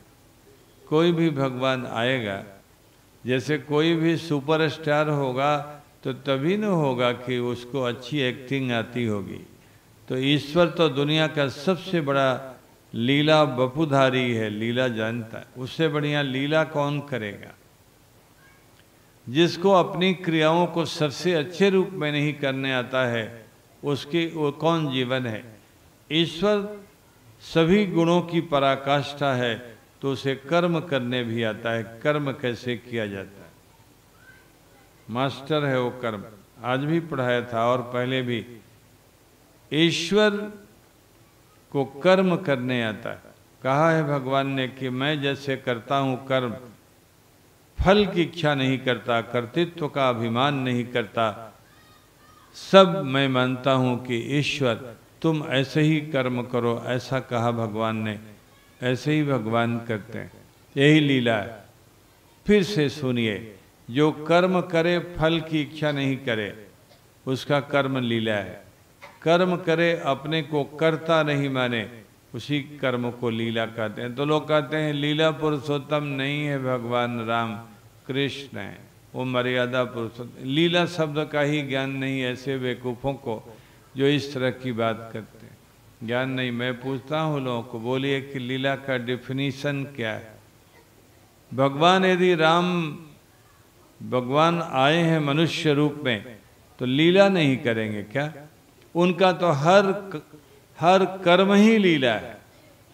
बतलाइए, नाव चला रहा है वो आदमी जिसकी कोई औकात नहीं है और राम जी उसको दे रहे हैं, ले नहीं रहा है, बतलाइए, ले नहीं रहा। कह कि नहीं अब नहीं लूँगा, दोगा इतनी बढ़िया देने वाला कोई सेठ मिला, वो मना कर रहा है। इससे बढ़िया लीला और क्या होगी, बतलाइए। कौन कोल भील किरात इतना फल, मूल, कंद और लकड़ी लाते हैं? कोई बड़ा आदमी रखता क्या? बोलता, हम मंगवा लेंगे। यहाँ हवन हम लोग रोज़ करते हैं, पता नहीं कहाँ से लकड़ी खरीद के ला, अभी इतनी लकड़ी आ गई। लेकिन कह नहीं रहे प्रबंधक लोग कि थोड़ा कम करो, महाराज, बहुत जल रही है। थोड़े ही हम लोग जलाते भी हैं। भगवान कृष्ण लीला पुरुषोत्तम और भगवान राम मर्यादा पुरुषोत्तम, यह एकदम टोटली बिल्कुल गलत व्याख्यान है। हम जितने लोगों को मिलते हैं, उनको पूछते हैं तो आदमी की जवानत जब्त तो हो जाती बोली बंद। मैंने कहा, आपको ज्ञान ही नहीं है। ईश्वर धुआँ निकाल दिया राक्षसों का, उससे बढ़िया लीला बताइए तो इसके बाद भी लंका नहीं हिल गया, एक सोने का टुकड़ा। फल नहीं चाहिए राम को, और अपने को आपको पढ़ाया था, भक्त आनंद। अध्यात्म रामायण में राम जी ने कहा, यह जो विजय है, आप सभी लोगों के कारण है। नहीं तो मैं विजय प्राप्त नहीं कर सकता, कर्तृत्वाभिमान नहीं। ये ईश्वर की लीला कल्पना करिए कि आप कहीं होते लंका में और वहाँ युद्ध हुआ होता तो जयपुर वाले तो भले आदमी कितना सोना लाते। ओह, पूछिए मत। छोड़ के नहीं आते। किसी भी तरह से लाते, एक टुकड़ा भी नहीं लिया। अपने भाई को नहीं, अपने रिश्तेदार को नहीं, अमुक को। कहीं पूरे ग्यारह हज़ार वर्षों के, तब बोले लीला पुरुषोत्तम है। उनको प्यार करने नहीं आता। कितना बढ़िया प्यार माओ को, माताओं को, ससुराल वालों को। और अमु एक दिन व्यास जी तो गा ही नहीं रहे हैं। थोड़ा बनवारी, वो जो जो भगवान गए थे द्वारिका पूजा पार्वती जी के पूजन के लिए जो गई थी जानकी जी और गए थे बाटिका में राम जी, वहाँ वाला प्रसंग सुनाओ कि उनको कितना प्यार करने आता है। प्रीति, कहा तुलसीदास जी ने, प्रीति, नीति प्रीति परमारथ स्वारथ कौन राम सन जान जसारथ? नीति प्रीति और परमारथ स्वाद कोई राम जैसा नहीं जानता। इतना प्यार करने आता है राम जी को। भगवान मालिक हैं। ज़बरदस्त प्यार की तो कोई पराकाष्ठा मापक यंत्र नहीं। तो भगवान आज कृष्ण, जो राम जी ही कृष्ण के रूप में आए द्वापर में, जैसे मिट्टी कई रूपों में परिवर्तित, कभी लकड़ी हो जाती है, कभी ईंट बन जाती है, कभी पत्थर बन जाती है, कभी कोई रत्न बन जाती है, कितने परिवर्तन होते हैं। ऐसे ही ईश्वर विभिन्न रूपों में हमें प्राप्त होता है। उसका सबसे बड़ा स्वरूप है जब वो राम के रूप में, कृष्ण के रूप में आता है। ये दो अवतार जोरदार हैं। दो अवतार पूर्ण अवतार के रूप में हैं। बाकी थोड़े दिनों, थोड़े प्रयोजनों के लिए और अवतार होते हैं। मत्स्यावतार वत्स और कच्छपा अवतार, बराह अवतार, इनके प्रयोजन कम हैं। जैसे यहाँ कोई आवे, मैं रमेश मोदी जी के भी कार्यक्रम में आया था। मेरा ख्याल है तीन चार दिनों का प्रवचन हुआ था। नहीं, पाँच दिनों का हुआ था। अब की बात जो ना आया हूँ कि साठ दिनों तक यहाँ पर रहूँ। साठ दिन। तो बारह पचे साठ। बारह गुना ज़्यादा का एक कार्यक्रम और उसमें भगवान भी आए हैं, तमाम वैदिक ब्राह्मण, ए, वो, केसरी जी भी हैं। वो तो मैं बहुत कम लोगों को, किसी को बोलता ही नहीं हूँ कि आप आ रहा। चतुर्मास में जो हमारी मुलाकात हुई थी, केसरी जी से तो यहीं फिर दोबारा हुई। न इन्होंने हमें टेलीफोन किया न हमने इनको टेलीफोन किया। न हमने पूछा कि आप कोरोना में हैं कि गए? न इन्होंने हमें पूछा कि आप है। यहाँ आ गए तो मैंने कहा, बहुत अच्छा हुआ आप आ गए ये मैं ऐसा स्वभाव का हूँ। नहीं तो यहाँ तो आपको बैठने की जगह नहीं होती। इतना पूरा परिवार है मेरा। लेकिन वो वाला काम नहीं। हमें मालूम है कि हम जा रहे हैं। हमारा जीवन सफल होगा साठ दिनों तक जयपुर वालों के साथ। और इनमें का भी जितना पुण्य होगा, इनका भी होगा। वो दो में भी रहा, नौ में भी रहा, अभी भी आ गया। और कभी योग बनेगा तो आज एक कह रही थी इनकी तिवारी जी की माता जी कि एक बार मेरे घर में चलो, जब दोबारा आप आओगे तो नहीं मैं मिलूँगी। यहीं बैठी हुई थी, जमा रही थी। तिवारी जी सामने वाले, उनकी माँ बोल रही थी, मेरे घर में एक बार चलना। एक बार मेरी इच्छा हुई कि क्या कहूँ बड़ी हैं। आज ही बोल रही थी, चलो चलो। तो मैंने उनके पोते को ही सिख लिया दिया कि दादी के कान में बोलो कि महाराज, जन्माष्टमी और नंद महोत्सव के दिन कहीं नहीं जाते। तो उनका मुँह बन गया। अब मुँह ढक भी लिया, बन भी गया। तो हंस रहा था पोता, महाराज को कैसी कैसी बात आती है। एक ही वैक्सीन दिया था, उनकी जब बंद हो गई। कहा कि ना ना और दूसरे, हमारा तो तैयार रहता है, जैसे नहीं वीरों का तैयार रहता है बाण तो तैयार कह देते कि अभी हमने प्रतिज्ञा किया है कि इस चतुर्मास में किसी के यहाँ नहीं जाना चाहे पड़ोसी हो, ले। अभी तक नहीं गए। सवा महीना बीत गया। आगे नहीं जाऊँगा तो कौन सा जमानत जब्त हो जाएगी? कोई तो कुछ तो नहीं होनी, हम तो सालों भर भले आदमी ऐसे ही रहते हैं। भगवान की दया से हम तीन संकल्प लें। साधु बने और भगवान को जिसकी तड़पन मिटाने के लिए, वो हमारे अभी तड़पन नहीं। हम असाधु अपने कर्मों को याद करें कि हम हो गए हैं कि नहीं, जिनके लिए भगवान आते। बहुत सारे काम हमारे जो नहीं होने चाहिए, वो हो रहे जिनके लिए आते हैं। दुष्टों के नाश के लिए भगवान। वो याद करिए कितना है। और फिर आप धर्म संस्थापनार्थाय असंभवामी धर्म की संस्थापना में अब कितना लगे क्या क्या करते हैं? और उसके लिए भगवान आने आए और आप उनके अनुसार सांस लग के करें, क्या बात है? अभी भगवान ने जो धर्म संस्थापना के लिए प्रयास किया, रामावतार में, कृष्णावतार में, आप कितना करते हैं? अभी कितनी मात्रा है, कितना बढ़ाना है, कहाँ तक जाओगे तो दिव्य जीवन होगा तो भगवान आपके हृदय में ही प्रकट हैं। होंगे। आप सभी लोगों की मंगल कामना करते हुए भगवान जब आते हैं तो अपने पूरे ऐश्वर्य के साथ आते हैं। छोड़ करके कुछ नहीं आते। कहा भगवान ने कि मैं आ जाऊँ, लेकिन अजत्व को लेकर भी आता हूँ, जन्म भी प्राप्त कर लेता ये हमारा मामला है। मैं अपना जो अजत्व है, ईश्वर अज होता है, जन्म नहीं लेता तो मैं छोड़ के थोड़े आता हूँ, अपने स्वभाव को लेके आता हूँ, जैसे आप लोग स्वभाव के लेके आते कहा, मैं अव्यय हूँ, अविनाशी हूँ, अपने अविनाशित्व को लेकर आता हूँ। जन्म लेने के बाद भी मैं अविनाशी ही रहता हूँ और मैं पूरे संसार का शासक हूँ, ईश हूँ, ईश्वर, नियंत्रण करता हूँ। यहाँ आकर भी मैं वही रहता हूँ, जैसे कोई भी स्वभाव छोड़कर नहीं आता।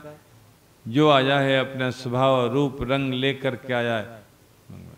भगवान इस तरह से हैं और कहा कि जब इच्छा होती है भक्तों की याद आती है उनके तड़पन का हमें ममत्व तो होता है। तो, तो भगवान हम लोग अपने मन को ऐसा बनावें।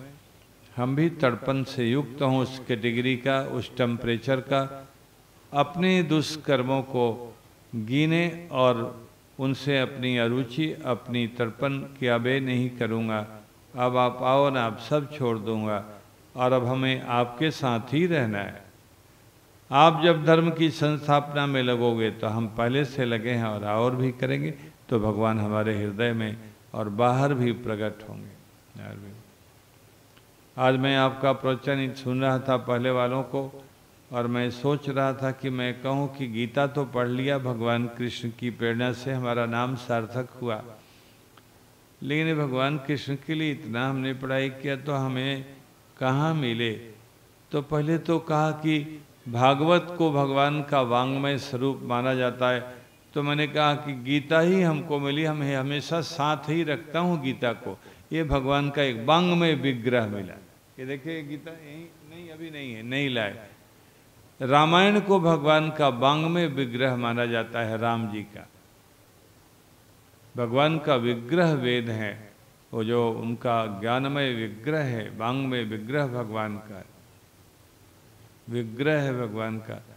तो मैं छोटी पुस्तक एक इतनी, गीता की इतनी सी होती थी, वो भी लेके चलता था, पढ़ता रहता था।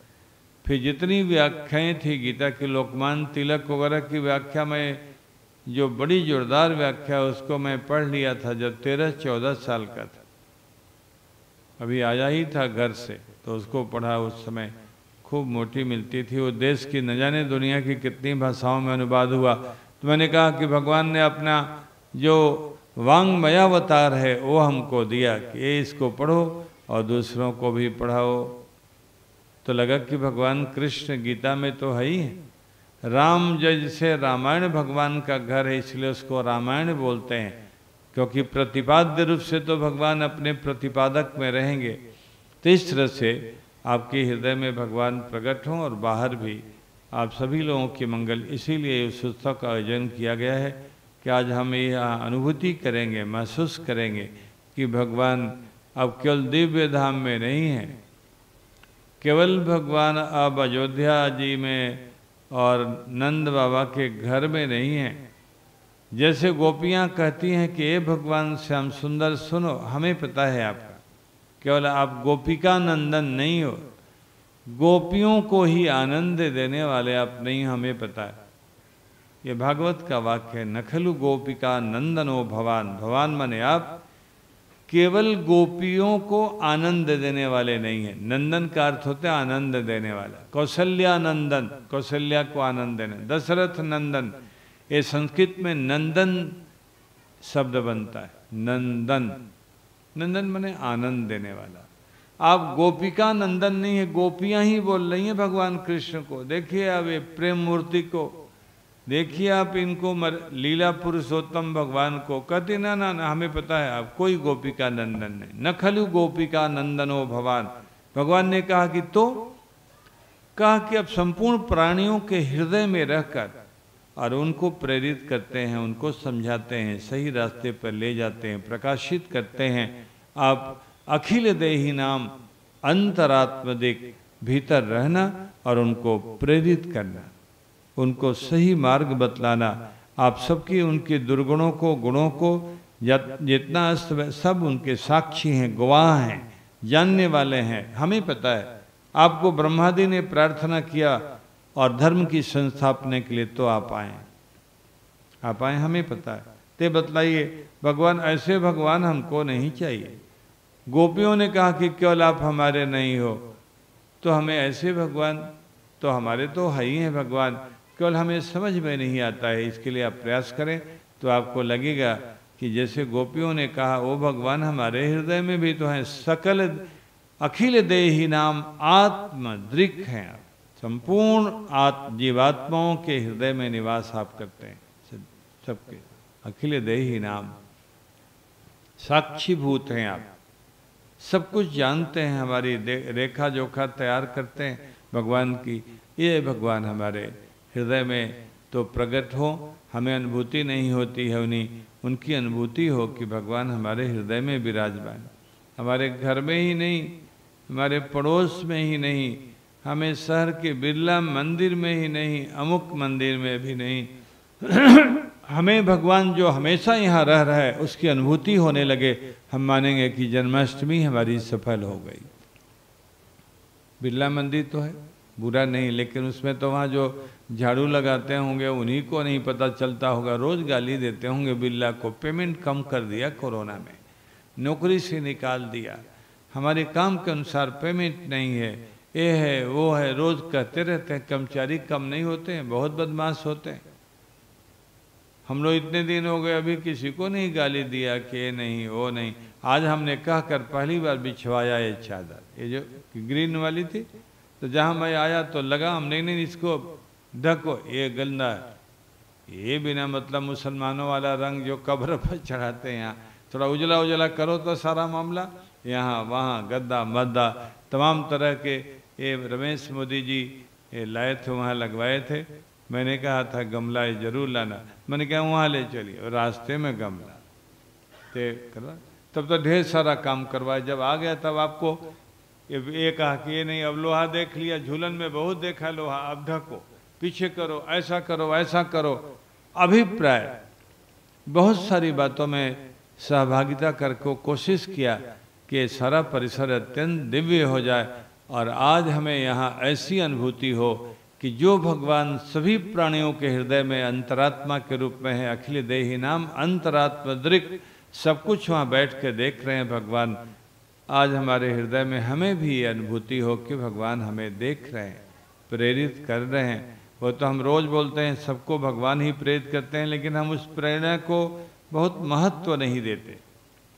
हम उस प्रेरणा को कैच नहीं कर पाते कि भगवान इतनी अच्छी अच्छी प्रेरणा दे रहे हैं, कर नहीं पाते। नहीं कर पाते, तभी हम यहीं के वहीं रहते और पीछे हो जाते भोजन करे, पचे ही नहीं, व्यायाम ही नहीं करे तो कौन सुंदर और मज़बूत शरीर होगा? तो आज हम सभी लोग, अब मैं जा रहा हूँ पूजन के लिए। पूजन करूँगा आधा घंटा में। ध्यान रखिएगा, पूजा करके भगवान फिर यहीं विराजमान हो जाएँगे पर्दे में करके झूला पर। तो फिर एक बार महाआरती हम लोग कर देंगे। वहाँ हम पूजा निर्वाह करते हैं। फिर महाआरती में सब थालियाँ बनी हैं आरती की और सभी लोग भगवान से यही कहना कि भगवान हमें धन धान की नहीं ज़रूरत, अब हमें आपकी ज़रूरत है। आपकी सेवा की ज़रूरत। मांगने का तरीका सुनिए।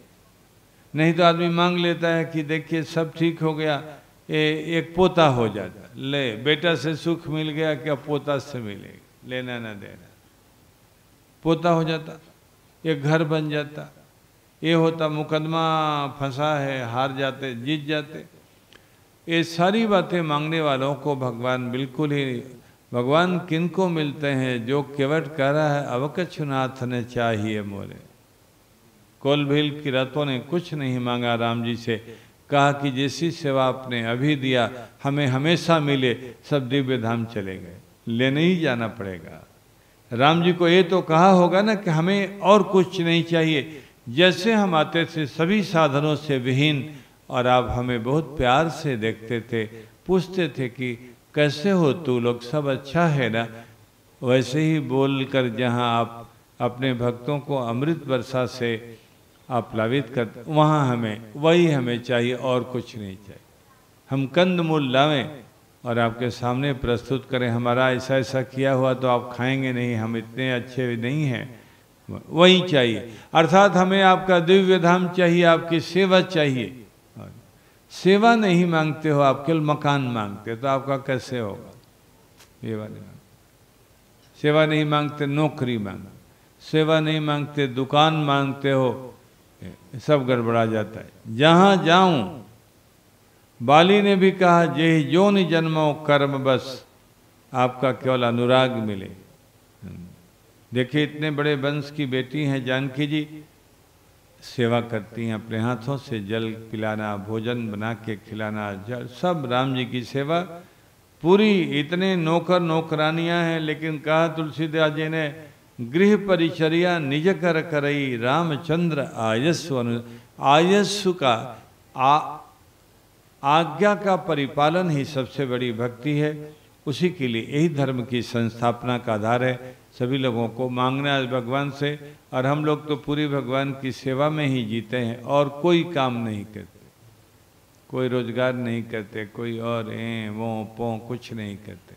जबकि हम तो बहुत पहले हमें नौकरी मिल जाती हमारे ढेर सारे परिचित के छोटी आयु से लोग हैं। छोटी, मैं बहुत छोटा था तो तमाम राष्ट्रीय लोग थे मेरे परिचित के। संस्कृत जगत में भी। मैंने कहा, नौकरी नहीं करनी। पहले तीन संकल्प लिया था कि विवाह नहीं करना, इस गाँव में दोबारा नहीं आना, खूब विद्वान बनना। जहाँ थोड़े लोग बोलने लगे कि नौकरी आपकी, मैंने कहा, अब नौकरी कभी नहीं करना। मज़े की बात है, मैंने कोई सर्टिफिकेट ही नहीं लिया। वहीं छोड़ दिया। मैंने कि यहीं कर्जालय में सड़ो सर्टिफिकेट सर्टिफिकेट दिखा करके हमने जीवन नहीं देना। हमने बहुत कमाया है, ज्ञान, विज्ञान। ये तो घबरा रहे हैं भगत जी। लिया ही नहीं सर्टिफिकेट यदि नौकरी करनी हो, तब न लेते सर्टिफिकेट नौकरी नहीं करनी, संकल्प क्या? कोई नौकरी नहीं। नहीं तो हम बहुत सारे लोगों से जुड़े थे, जिनकी इस देश में चलती थी, कहीं नौकरी मिल जाती। पहले ही लोग बोलते थे, आपको पहले से मैं बोलता हूँ, हमारे यहाँ ही रहना। मैंने, ना ना, नौकरी नहीं। तो भगवान की दया से आइए, मैं अभी उधर से आता हूँ, तब तक आप पैर सीधा कर लो। है? नहीं नहीं, अब कोई नहीं। और बहुत गाए हैं लोग। कीर्तन वालों को अब तो गा लिए थोड़ा हम लोग पूजन कर लेते हैं, तब तक पैर सीधा करें, फिर आरती, प्रसाद, नंद को आनंद भय, जय कन्हैया। एक बार उनका हो गया तो फिर आना, जमाना ये वो, ठीक है, वो बन नहीं पाएगा उस तरह से तो वो रहने जैसे आपका प्रवचन अब हो, अब नहीं जमेगा। जम गया? बहुत एक कंस से वो सारा सारा जमा दिया। तभी तो हम उससे किनारे किनारे रहे, न इनके वाले से, न कौशलेंद्र वाले से। हमने अपनी अलग पार्टी बनाई। भगवान के क्या मामला है? आइए, अब थोड़ा पैर और सीधा करो तब तो मैं पूजन करके आता हूँ। जय सिया उठ जाओ तो मेरे तभी